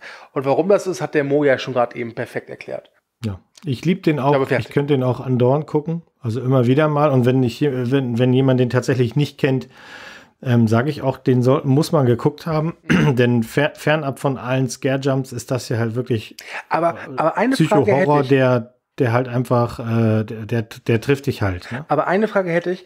Ich glaube ja, dass Blair Witch Project ein wenig Opfer seines Hypes geworden ist, weil viele, glaube ich, wirklich gedacht haben, okay, das ist jetzt der Hype-Horrorfilm, das ist jetzt, wie du schon sagst, das ist jetzt so eine Jumpscare-Parade, so ein Film, der uns wirklich erschüttert. Und dann halt irgendwie äh, einen Film sehen, wo, brechen wir es mal ganz rudimentär und ganz hardcore so zusammen, drei Leute durch den Wald gehen. Ja, aber das, ich glaube auch, dass du, äh, das ist halt dann auch eine Geschmackfrage. Aber wie gesagt, ich habe jetzt auch in letzter Zeit viele Horrorfilme gesehen, die langweilen mich halt aber eher, weil ich halt das nicht mehr sehen kann, wenn aus dem Wandschrank da irgendwie so ein haariges Mädchen springt oder so. Und deswegen fand ich es jetzt bei dem Film halt, wie gesagt, ich habe den lang nicht gesehen und ich habe echt so die Hälfte geguckt, hier bei mir im kleinen Kämmerlein, alles dunkel und so. Und dann musste ich mal irgendwie auf dem Balkon oder auf Klo, irgendwie im Dunkeln und so. Und das war gruseliger als, als, Ahnung, wo ich mir äh, Loronas Fluch oder so Bullshit angeschaut habe oder so, weil du dann halt echt die ganze Zeit diese komische Fresse in der Kamera hast und aber eben dieses dieses Dunkel, dieses äh, dieses, äh, dieses Kamerabild ist einfach so genial, dass du halt echt nur diesen Boden von dieser Nachtsichtkamera siehst und die ganze Zeit darauf wartest, dass da irgendwas steht. Und das ist ja genau so. Wenn du nachts durch den Wald läufst und dann irgendwie den Film davor gesehen hast, denkst du die ganze Zeit, fuck, da steht gleich jemand oder so. Es ist ja, muss ja auch nicht mal die, die, die haarige Hexe sein, sondern irgendwie irgendein Typ. Die wissen ja auch die ganze Zeit nicht, ob das nicht eventuell irgendwie Hillbillies sind, die halt irgendwie sie, keine Ahnung. Das, das fand ich auch beim Film voll strange, weil irgendwie, dann sagt der eine noch so, ja, wahrscheinlich ist es ein Hinterwäldler, der, hält- der, der ist vielleicht auch nie freundlich oder so. Also ich weiß auch nicht, ob ich dann nachts, wenn da irgendwelche Geräusche sind oder so, den Typen dann mit der Kamera suchen würde. Keine Ahnung. Vielleicht sind es ja nur irgendwelche krassen, keine Ahnung, Psychopathen, die im Wald hausen und auch keinen Bock haben, dass du da bei ihm ins Wohnzimmer steigst oder so. Egal, ihr wisst schon, was ich meine. Es, es wäre ja gruselig, es wäre genauso gruselig, wenn da auf einmal ein Typ steht oder eine Hexe, ist scheißegal. Aber dieses Bild, ja, dieses Bild von äh, Ästen und so ein bisschen Boden, wo du die ganze Zeit drauf wartest, dass da irgendwas steht, das ist so spannend. Ich finde. Das ist ja, damals waren ja die Leute so ein bisschen hin und her gerissen, auch eben, genau wie du gesagt hast, zu der, die, vom Hype. Ähm, Kritiker fanden den Film gleich gut und beim Publikum war es immer so ein 50-50-Ding. Mhm. Weil äh, die haben wahrscheinlich sind viele da reingegangen und haben gedacht, jetzt kriege ich hier Geschnetzeltes, nonstop. Und das kriegen sie nicht. Was sie kriegen ist den Paul von nebenan mit seinen zwei Kumpeln, die durch den Wald stapfen und sich verlaufen und mit einer äh, Amateurkamera verwackeltes Bild, zum Teil sinnlose Dialoge, weil die führen ja zu nichts, ähm, äh, sich da auf den Weg machen, irgendwas zu sehen. Und dann denkst du die ganze Zeit, was ist denn hier los? Wo bleiben denn die, die scary Moments, die, die, die Jumpscares, die, da, ja, das nächste Texas Kettensägen-Massaker, weil da muss ja irgendwo, irgendwer läuft ja da rum. Aber das ist halt genau das, was nicht passiert aber es ist die ganze Zeit was Ängst, da ist irgendwie Angst in der Luft wegen dieser kleinen Dinge, die da passieren. Und diese langen Intervalle, in denen gar nichts passiert, passen ja auch genauso rein, weil dann wiegst du dich ja auch in Sicherheit. Und der ganze Tag ist vergangen. Ja, die haben jetzt schlechte Laune, jetzt bauen sie ihr Zelt wieder auf, dann legen sie sich hin und dann auf einmal hörst du dieses Babygeschrei im Wald. Ich finde das so gruselig. Ich finde aber, ja, obwohl, obwohl viele Stellen sind, wo halt so, wie du es gesagt hast, so äh, banale Dialoge passieren, mir ist jetzt aber trotzdem aufgefallen, äh, ich bin in letzter Zeit immer so ein bisschen ungeduldig, was Filme angeht. Ich weiß gar nicht, woher das kommt. Aber zum Beispiel Filme, die über zwei Stunden dauern, die, da, da denke ich immer, ich sitze den ganzen Tag dran oder so. Aber, aber jetzt bei dem Film fand ich das Pacing total zügig. Also ich meine, Jetzt sind 78. Eben, ja, das ist ja, das kurz. Ist, das ist schon schnell. Auch kurz. Aber, aber, ich hatte jetzt auch nicht das Gefühl, also irgendwie, ich saß jetzt so da und, und obwohl ich den Film schon mal gesehen habe vor paar Jahren, vor 10, 15, egal, trotzdem dachte ich mir so, boah, das geht alles ganz schön schnell. Also ich finde der Film, man könnte ihn auch so machen, dass sich noch, noch langsamer aufbaut. Ich finde, das ist wirklich ziemlich zügig. Also ja. es geht schnell zum Ende. Also ich ähm, finde ihn nicht, ich finde ihn nicht kurzweilig, das muss ich sagen. Also für seine Art natürlich nicht. Ich fand es ziemlich Also ich kurzweilig. finde, äh, ich, ich finde nicht langatmig, aber ich finde auch nicht, dass der jetzt äh, relativ so zack vorbei. Aber was ich interessanter finde, ich glaube, wir sollten mal den Max aus der Ecke holen, weil er hat doch gar nichts gesagt. Hallo. ich bin's. Ja, was wollt ihr denn wissen? Naja, nee, wie war dein Tag? Hab, was hast du so gegessen? Ja, nee. Project? Wie ist deine Käse-Sahnesoße geworden? Nein. Ich habe keine gemacht. Ich habe ihn damals tatsächlich zweimal im Kino hintereinander angeschaut. Ähm, also ich habe erst, wie ich eingangs schon meinte, den Trailer gesehen, dann war ich angefixt. Ich war auch eine der Personen, die nach dem ersten Trailer irgendwie dachte, hey krass, was, was, das ist ein Dokumentarfilm oder sowas der wirklich mit Found Footage äh, arbeitet. Und naja, dann, bevor ich dann ins Kino gegangen bin, war mir dann schon klar, okay, das ist jetzt äh, ein normaler Film. Äh, Erstsichtung war, fand ich super gruselig. Zweitsichtung war ich die ganze Zeit drauf aus, äh, zu suchen, welche Kleinigkeiten in dem Film irgendwie versteckt werden, um mir zu sagen, was es denn jetzt wirklich ist. Äh, Spoilerwarnung, ich habe es auch beim zweiten Mal nicht geschafft, mir ein eindeutiges Ergebnis irgendwie rauszufinden. Und dann habe ich ihn sicherlich im Laufe meines Lebens noch so drei, vier Mal immer wieder mal so zwischendurch geguckt. Und mir geht es ein bisschen so wie Mo dass ich so den Wald und die Dunkelheit so als eine sehr passende Urangst empfinde. Und da, wenn du mich, glaube ich, allein in dunklem Wald steckst und ich höre irgendwelche Geräusche, die ich nicht zuordnen kann, dann geht mir der Stift. Ähm, ansonsten Marketing, ich finde das Marketing einfach genial. Ich finde auch, es hat kein Film danach hat es irgendwie geschafft. Weil schon so weil ja. der Film ja auch zur rechten Zeit kam. Ich meine, 99, da gab es zwar Internet schon und äh, es, es war schon, sag ich mal, populär, aber es war trotz allem noch, also hätte damals Angela Merkel gesagt, das Internet ist Neuland, dann hätte sie recht gehabt.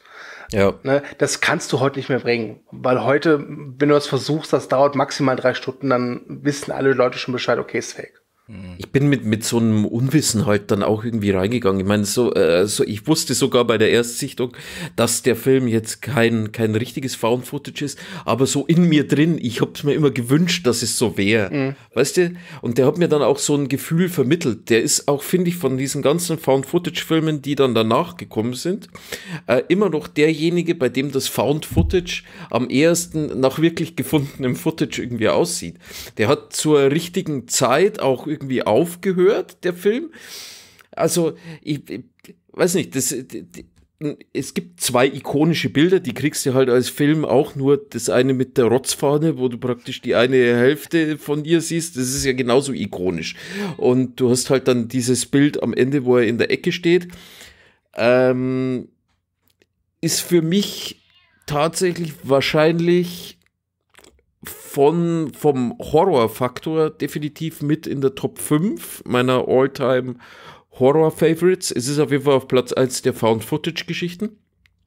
Und was er halt echt saugut macht, ist, dass er wie für mich vernünftiger Horror funktionieren soll und vor allem ich stehe auf Hexen und Wald und sogar irgendwelche unerklärliche Ereignisse. Er zeigt halt nichts und das ist der große Vorteil.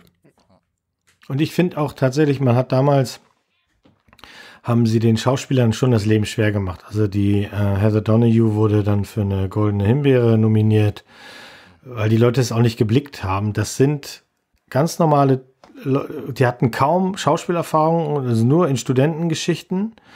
Ähm, und alles, was, was sie macht, das Schreien, das Nörgeln, natürlich geht die einem auf den Sack, aber jemand in dieser Situation wird genauso sein, weil du dafür nicht, äh, dafür kannst du dich ja gar nicht vorbereiten.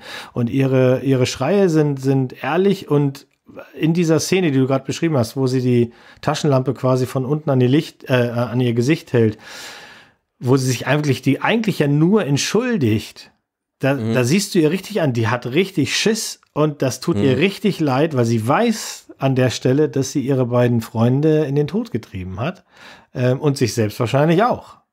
Ja, das fand ich eh ganz großartig, weil irgendwie wie dieses äh, zwischen den Leuten halt dann so crumbled, weil anfangs denkst du ja, okay, die Tante hat halt keinen Plan vom Kartenlesen. Aber dass dann später irgendwie rauskommt, okay, hier geht's gar nicht mit natürlichen Dingen zu, eventuell hat die Hexe da oder was auch immer, keine Ahnung. Aber dass das dass sie wirklich einen Plan hatte und dass sie schon weiß, von sie redet. Aber dass diese Typen, das ist ja auch schon fast schon wieder so ein, ich will jetzt hier nicht irgendwie Feminismus-Debatten aufmachen oder so, aber trotzdem ähm, finde ich das ganz spannend, wie, wie sie halt immer runtergebuttert wird, weil sie immer sagt so, ja, ich weiß schon, wo es lang geht. Und sie dann an ihr zweifeln und sagen so, hey, du blöde Sau, du hast jetzt voll verplant. Und dieses Vertra dieser Vertrauensverlust dann halt irgendwie so von wegen so, ja, du hast doch die Karte gehabt und so. Und vielleicht hatte sie ja wirklich Plan, aber es wurde halt es wurde halt von dieser Hexe eventuell halt irgendwie durcheinander gebracht oder sonst was oder so. Aber dass, dass dann dieses Vertrauen zwischen denen so schwindet und dass sie dann gleich auf die losgehen. Nur weil sie gesagt hat so von wegen, ja, ich weiß schon, wo wir lang gehen.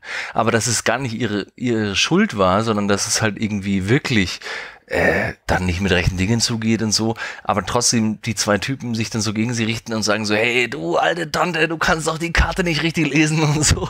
Und dann irgendwie dieser Konflikt zwischen den Leuten, das fand ich halt wirklich fast beim, bei der Zweitsichtung jetzt fast das Interessanteste beim Film, weil wie gesagt, ich wusste, wie es ausgeht, ich wusste, dass dann einer verschwindet und dann die Hexe und tötet wahrscheinlich alle und so. Aber trotzdem, dieser Konflikt zwischen den Leuten, den fand ich eigentlich bei der Zweitsichtung fast am spannendsten. Ja, aber das ist ja genau das, was einen guten Horrorfilm irgendwie ausmacht. Du musst ja immer irgendwie, keine Ahnung, Mechanismen äh, entwickeln, die sich hochschaukeln. Genau, aber den fand ich so real. Ja, ja. Den fand ich so real, weil wenn du in den Wald gehst und einer macht die Karte und auch wenn er nicht schuld dran ist, aber trotzdem einer sagt, ich weiß, wo es lang geht und dann fünf Minuten später oder, oder zwei Stunden später sagt er irgendwie so, hey Leute, irgendwie stimmt hier irgendwas nicht. Dass die dann wenn es wirklich ernst wird, natürlich auf den Typen oder auf die Frau losgehen, die gesagt hat, sie hat einen Plan. und dann heißt es auf einmal, wir wissen nicht mehr, wo wir sind und so, aber wie sie sich gegenseitig dann so anschuldigen und so, das fand ich echt total. Ja, es ist eine ganz normale Dynamik, finde ich. Eben auch da, dadurch, dass es halt keine bekannten Schauspieler sind oder sonst irgendwelche Dudes halt einfach. Ich, ich fand das, das haben das sie ist bei, bei, bei Horror, ich finde bei Horror und bei Comedy sind genau, ist es genau das, was, was gut von schlecht unterscheidet, ist, dass du Dynamiken vorhersehen kannst ich finde, bei Horror ist es ganz wichtig, dass du Schauspieler hast, die man nicht aus anderen Filmen kennt. Also bei so einer Art von Horror, dass du nicht denkst so, das ist doch der Typ aus Fluch der Karibik. Keine Ahnung. Also das finde ich halt großartig bei Filmen, bei Found-Footage-Filmen eh. Also wenn da jetzt, keine Ahnung, Christian Bale mit äh, Johnny Depp und Angelina Jolie durch den Wald laufen würden, dann wäre es halt natürlich nicht so spannend. Ihr wisst schon, was ich meine. Egal, ich bin still. Wir sind eh schon über der Zeit. Ich bin still. Ja, du musst schneiden. Deswegen kommen wir jetzt zum Fazit. Na, dann mache ich mal hier den ersten, oder? Hau raus. Ich das Problem ist, ich weiß nicht so wirklich, was ich geben würde, aber ich habe es ja schon angekündigt, also da es in meinen Top 5 der Horrorfilme ist und ich Horrorfilme per se als Genre in meinen Top 3 packen würde, wird es wahrscheinlich auf 4,5 rauslaufen. Und es tut's auch. Ich gebe ab. Bam. Padam. Ja, ich mache mal gleich weiter, das soll ja sich hier nicht so lange hinziehen. Ich habe schon gesagt, ich finde den super. Für das, was er macht, äh, also das, was er macht, macht er am besten von den ganzen Filmen. Äh, für mich ist das eine 5 von 5. Badang! Stu, Bert, bist du doch da? Ich bin noch da. Ich bin noch da. Ich habe euch äh, aufmerksam gelauscht. Ähm, ich gebe ihm dreieinhalb von fünf. Ich finde ihn gut. Er, es ist halt nicht so der Horror, der mich jetzt äh, überwiegend anspricht. Ähm, mir fehlt da, glaube ich, schon so ein bisschen etwas, womit ich so richtig connecten kann. Ich habe diese Urangst vor dem dunklen Wald, glaube ich, einfach nicht, äh, Stadtkind. Ähm, aber es ist ein sehr, sehr guter Horrorfilm. Definitiv. Äh, er hat seinen Klassiker- oder Kultfilmstatus zurecht. Ähm, ich war gerade irritiert, dass er irgendwie nominiert war für Goldene Himbeeren. Ich bin mal dafür, so einen Sondercast zu machen, wo die Goldenen Him Himbeeren mal klein stampfen, weil ich finde die immer nur scheiße. Mhm. Ähm, aber ja, 3,5, guter Film. Äh, ja, ich gebe ab an die Sendezentrale. Ja, eben, das mit der goldenen Himbeere ist ein guter Punkt, weil ich finde, dass diese Schauspieler das so gut gemacht haben. Also den, das, das wirkt genauso, wie es sein soll. Also die sind halt wirklich. Ich würde sogar so weit gehen und sagen, die haben nicht geschauspielert. Die waren halt Genau, genau also was der Mo vorher erzählt hat, ich kenne jetzt keine, ähm, keine Behind the Scenes, was, was der Regisseur mit denen angestellt hat, irgendwie in Richtung Shining oder so, dass er die Leute getriezt hat oder ihnen das Essen entzogen hat oder sonst was. Keine Ahnung was.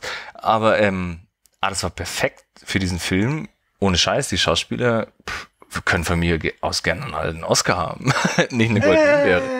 Von denen spielt nur noch einer. Also nur noch dieser Joshua Granville Lennon ähm, spielt der, der Schauspieler tatsächlich noch. Der war erst vor kurzem bei Steven Soderberghs äh, Unsane nochmal zu sehen.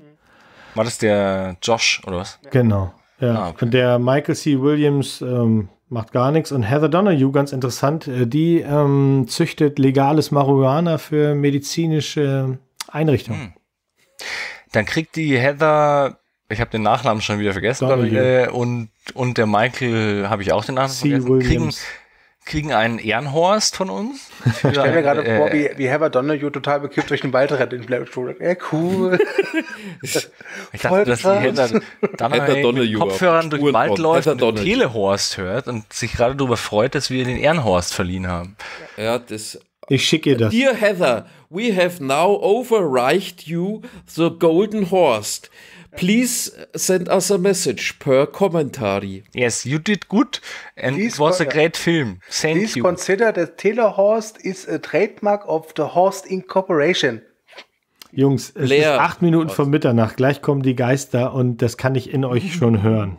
Ja, wir müssen es auf jeden Fall noch bis zwölf machen. Ich werde mein, äh, mein Fazit ein bisschen herauszögern. Ja, du musst ja jetzt dann auch nur einen Film raussuchen. Jetzt das kommt, werde ich es gibt eine Punktzahl. Nein, aber ohne Scheiß. Also wie gesagt, ich fand den Film sehr großartig. Ich finde auch, dass er nicht also ich musste, ich habe mir gestern ein bisschen eingeschissen, wo ich mal aufs Klo oder auf den Balkon gehen musste, einen rauchen. Also beim Klo zu scheißen finde ich gut.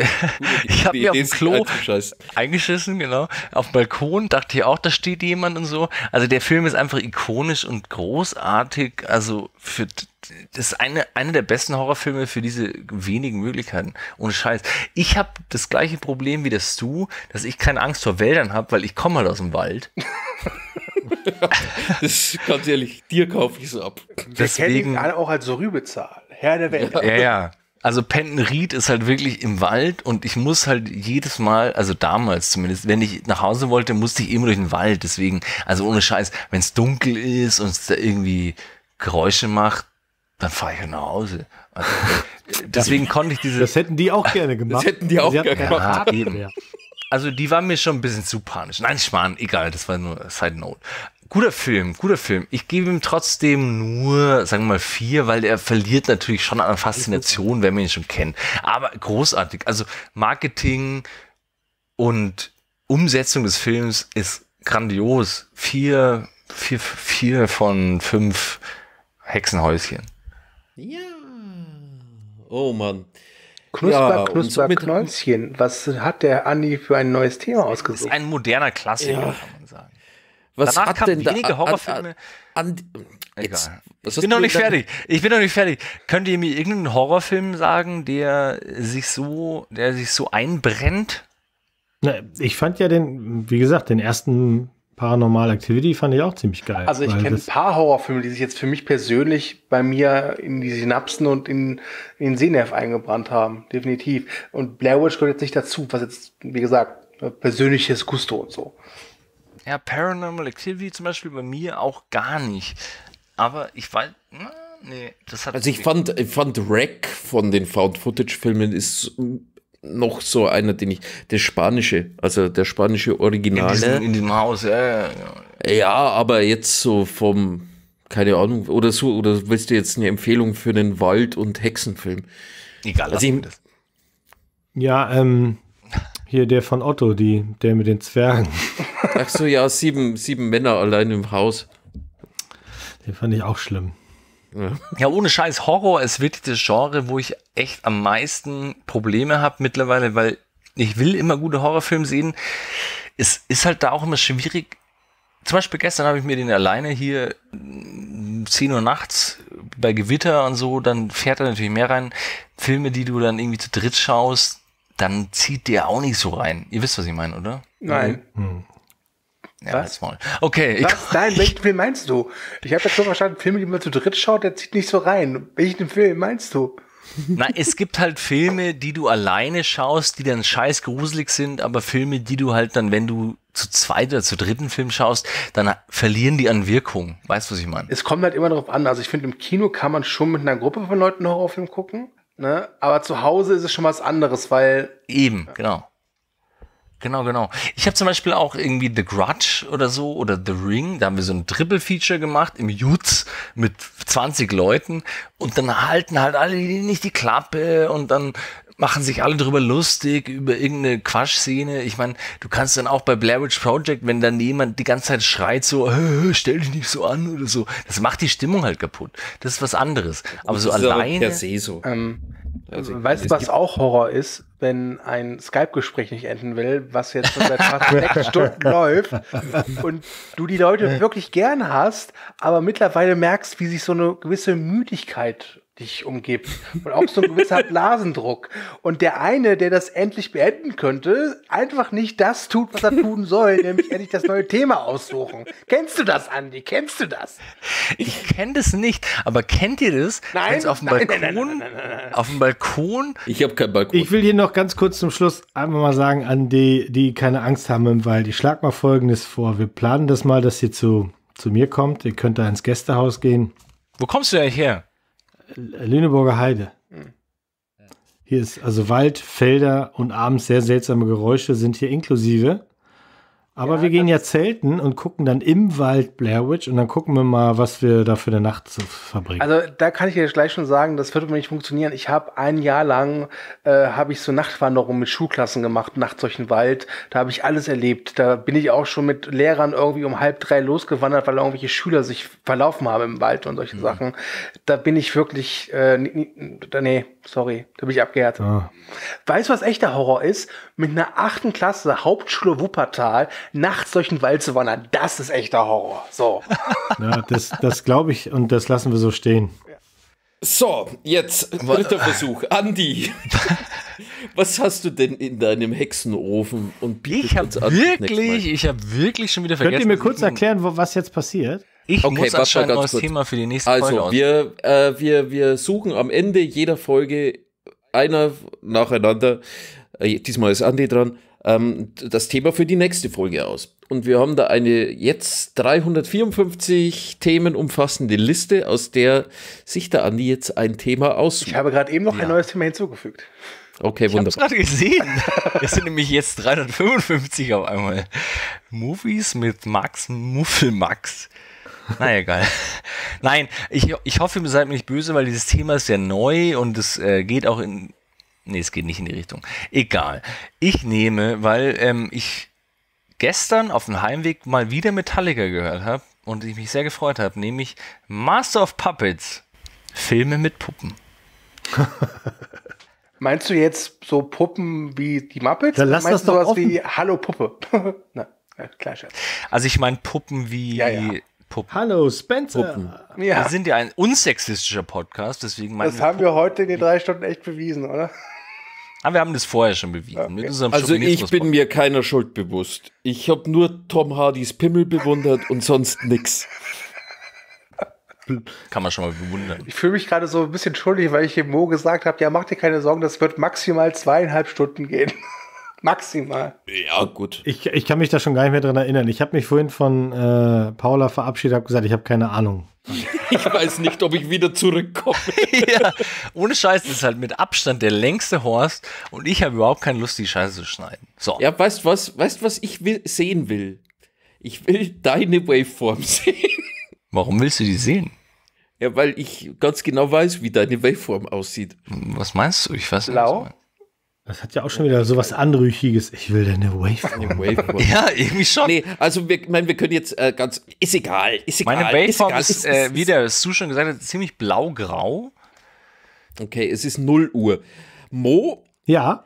Ähm, du hast jetzt hier die Möglichkeit äh, zu sagen, ob du irgendwann mal wieder kommen willst oder ob du es irgendjemandem empfiehlst, ich hab, Gast zu sein. Ich habe hier, ungelogen, ich habe hier schon fünf Filme mit Puppen aufgeschrieben. Okay, gut. Warte kurz, bevor wir einen davon nehmen, aber nennen sie einfach mal, weil du bist nee, das nächste nee, Mal nee, eh nicht dabei, oder? Bist du nicht? das nächste Mal bist du nicht dabei. Also das nächste Mal laden wir dich aus. Du bist, du warst ein schöner Gast, ein guter Gast, ein attraktiver Gast, super klasse. Aber trotzdem würde ich jetzt sagen, du bist das nächste Mal nicht dabei.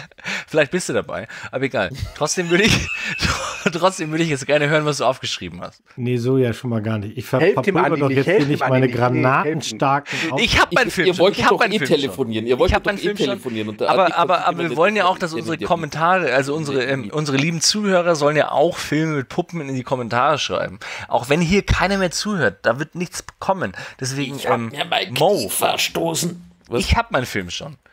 Leute. Ja, ich noch nicht. Wie, also was hast du denn? Ich, also ich hätte einen, einen, wo ich mit äh, liebäugle, aber ich weiß sehr sicher, glaube ich, dass den der Pawlitzki schon hat. ja, das ist ja schon ein bisschen. Ich glaube, meiner gilt nicht als Puppenfilm. Das ist das Problem. Aber das können wir dann ausdiskutieren. Das haben wir noch nie gemacht. Wir müssen jetzt unbedingt zum Ende kommen, sonst stuhl ich hier auf den Stuhl. Also, pass auf, ich sage Tschüss, vielen Dank, auch vielen Dank an dich, Mo, und übergebe dann an Andi, dann an Max, und weil der Mo unser Gast ist, bekommt der Mo auch das letzte Wort. So, ja. ja ich sag auch einfach mal Tschüss und überlasse dem Mo das letzte Wort. Ja, danke, dass du mich überspringst. und ich überspringe jetzt. Ich springe jetzt dann weg. Bye, bye, bye. Gut, Jungs, es war mir ein inneres Rodeo, hat Spaß gemacht. Ich bin gerne mal wieder dabei. Und wenn nicht, dann werde ich das hier in meine Ahntafel schreiben als ein unvergessliches Erlebnis. Macht's gut. Und das war doch ein schönes Schlusswort.